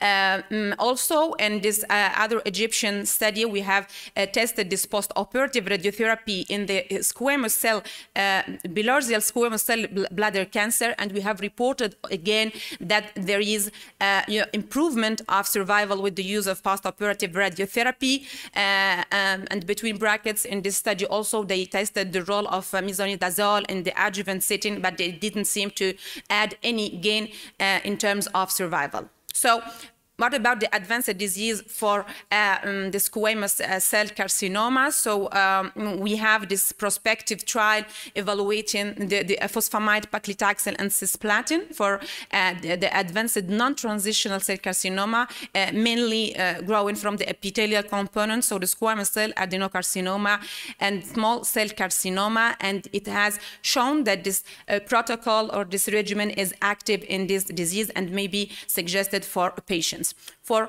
the other epithelial uh, um, variant, the adenocarcinoma, so uh, uh, we know that, uh, so it has been already discussed that we should always look if it's the pure or it's just, you know, a differentiation. So uh, uh, from urothelial carcinoma, urachal, non-urachal. So with this urachal adenocarcinoma that has the specificity to of younger onset, it can be um, the, the, median overall survival from the MD Anderson Cancer Center is around 46 months.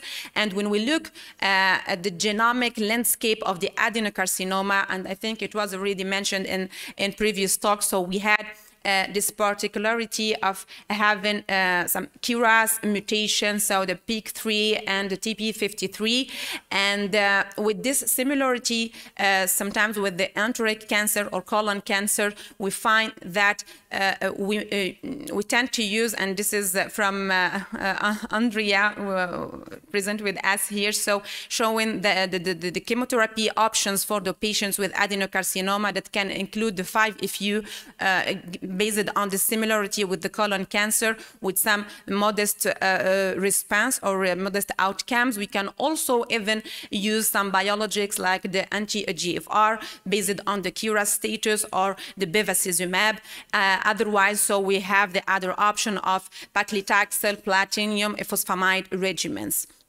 So for the urachal adenocarcinoma, so just to mention that surgery is mm, the basis or the backbone of treatment. So we have this possibility of par partial uh, uh, cystectomy uh, uh, uh that with no difference in terms of survival versus radical cystectomy.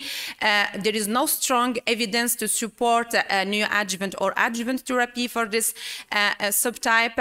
And regarding the multimodality approach, so we have this, um, this, this the study that have shown that plus we have localized disease, negative margin, negative lymph node, and the resection of the ligament. So we have improved overall, uh, uh, sur uh, improved survival for those patients. So same here. So we can see that for the non-urachal adenocarcinoma, the multimodal approach based on surgery and radiotherapy is better than radiotherapy alone. Well, micropapillary urothelial carcinoma, a lot has been said by our pathologists. So uh, um, it's uh, associated with poor prognosis, aggressive course of the disease, and this particularity of HER2 overexpression and amplification. Uh, and uh, in this uh, study from the MD Anderson, again, for our with our friend Ashish, who is not unfortunately with us, so they have underlined that it's associated with poorer prognosis, with more advanced disease, 44% or have T2 or more, and a quarter of patients are not positive. And we have seen that the overall survival was similar if we are in non-muscle invasive or muscle invasive, but we also underlined from this study something very important is that this subtype is not responsive to the intravesical uh, uh, immunotherapy, uh, the, the BCG therapy. So maybe those patients should be offered uh, cystectomy, early cystectomy. Uh, also uh, here regarding the always the micropapillary bladder cancer. So we can uh, see that when we give the neoadjuvant chemotherapy, so we improve the rate of pathological response and complete pathological response with here around 45% who became PT0, uh, which uh, um, uh, confirm the necessity to include those patients in the approach of neoadjuvant chemotherapy followed by surgery. So the HER2 pathway, it has been uh, discussed and we have uh, data coming from this uh, phase one trial. So with the trastuzumab deruxtecan, this ADC that you know um, is now very famous in solid tumors in oncology oncology with spectacular results in breast cancer, but not only also in lung cancer and even in digestive cancers. And here we have seen that there is promising also results in urothelial carcinoma with near 77% of disease control, which is very exciting. So um, small cell bladder cancer, very aggressive, we know it's a highly proliferative disease and uh, mm, uh, in, in, in, general, so with more uh, node positive, more metastatic disease, shorter survival. We know that it's highly proliferative, but also it's highly responsive to treatment, so to chemotherapy based on cisplatinum. That's why also those patients should be treated in a multi-modality approach with chemotherapy or radiochemotherapy in the neoadjuvant setting, so followed by uh, cystectomy. And here I just bring you this uh, um, slide from the ASCO GU 2023 uh, comparing so uh, um, the neuroendocrine uh, carcinoma and non-endocrine carcinoma of bladder cancers. And we have seen that despite that we have more advanced stages, so we have uh, similar outcomes between the two groups. And this is real world mm, data confirming the need so of so treating adequately those uh, patients as early as possible. So um, here, uh, again, in the small, um, uh, the, this is phase two clinical trial of the neoadjuvant chemotherapy uh, with ifosfamide, doxorubicin, and etoposide cisplatin in the small cell urothelial cancer. And you see here also that it plays a major role in the neoadjuvant setting. It can improve uh, the outcome of patients where, yeah, we, but we can say that, see that for the metastatic metastatic setting, the, the prognostic is really poor. But also we have uh, seen that there is a, mm, some predilection for the spectrum of metastasis for those uh, small cell cancers. So uh, that's why it's mandatory to go in the workup for the brain imagine since we have this tropism to brain metastasis.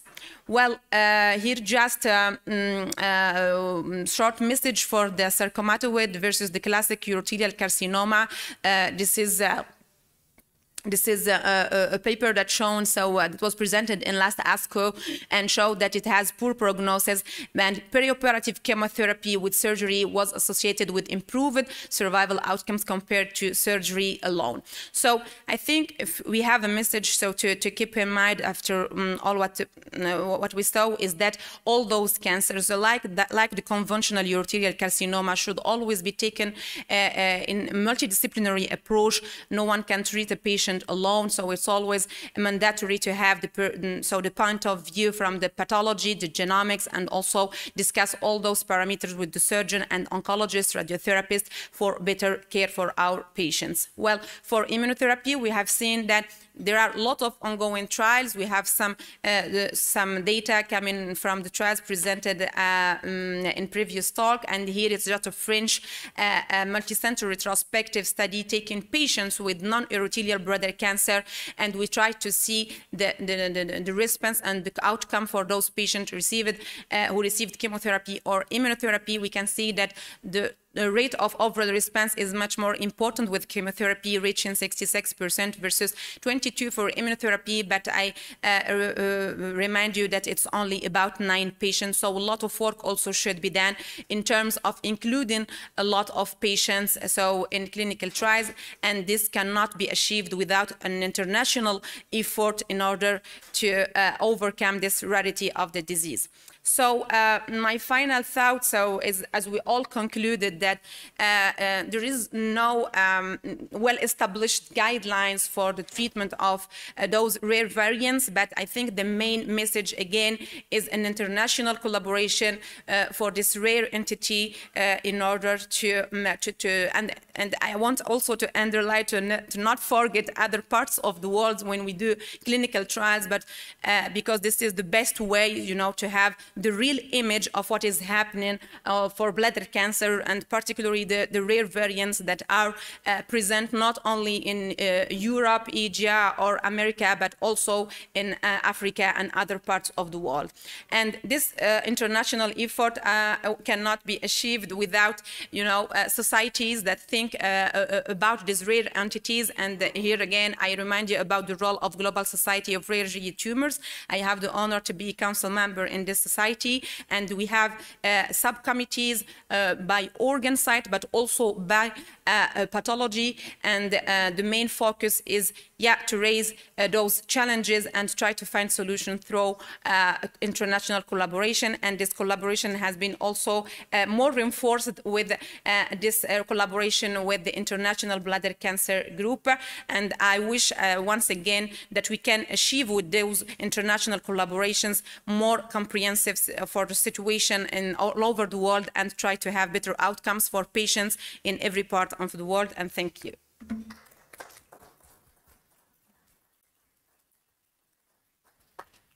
Great. All right. I think, you know, in the interest of time, um, I'd like to thank everyone for attending. Um, it's really been a great session. I think the session highlights the difficulty of moving this disease space forward and really understanding what the, the biology of the disease is, what the targets of therapy may be, and also how we can bring about everybody so that we can, you know, uh, uh, get trials going in this disease space. So thank you very much. Um, have a great rest of the meeting and safe travels back.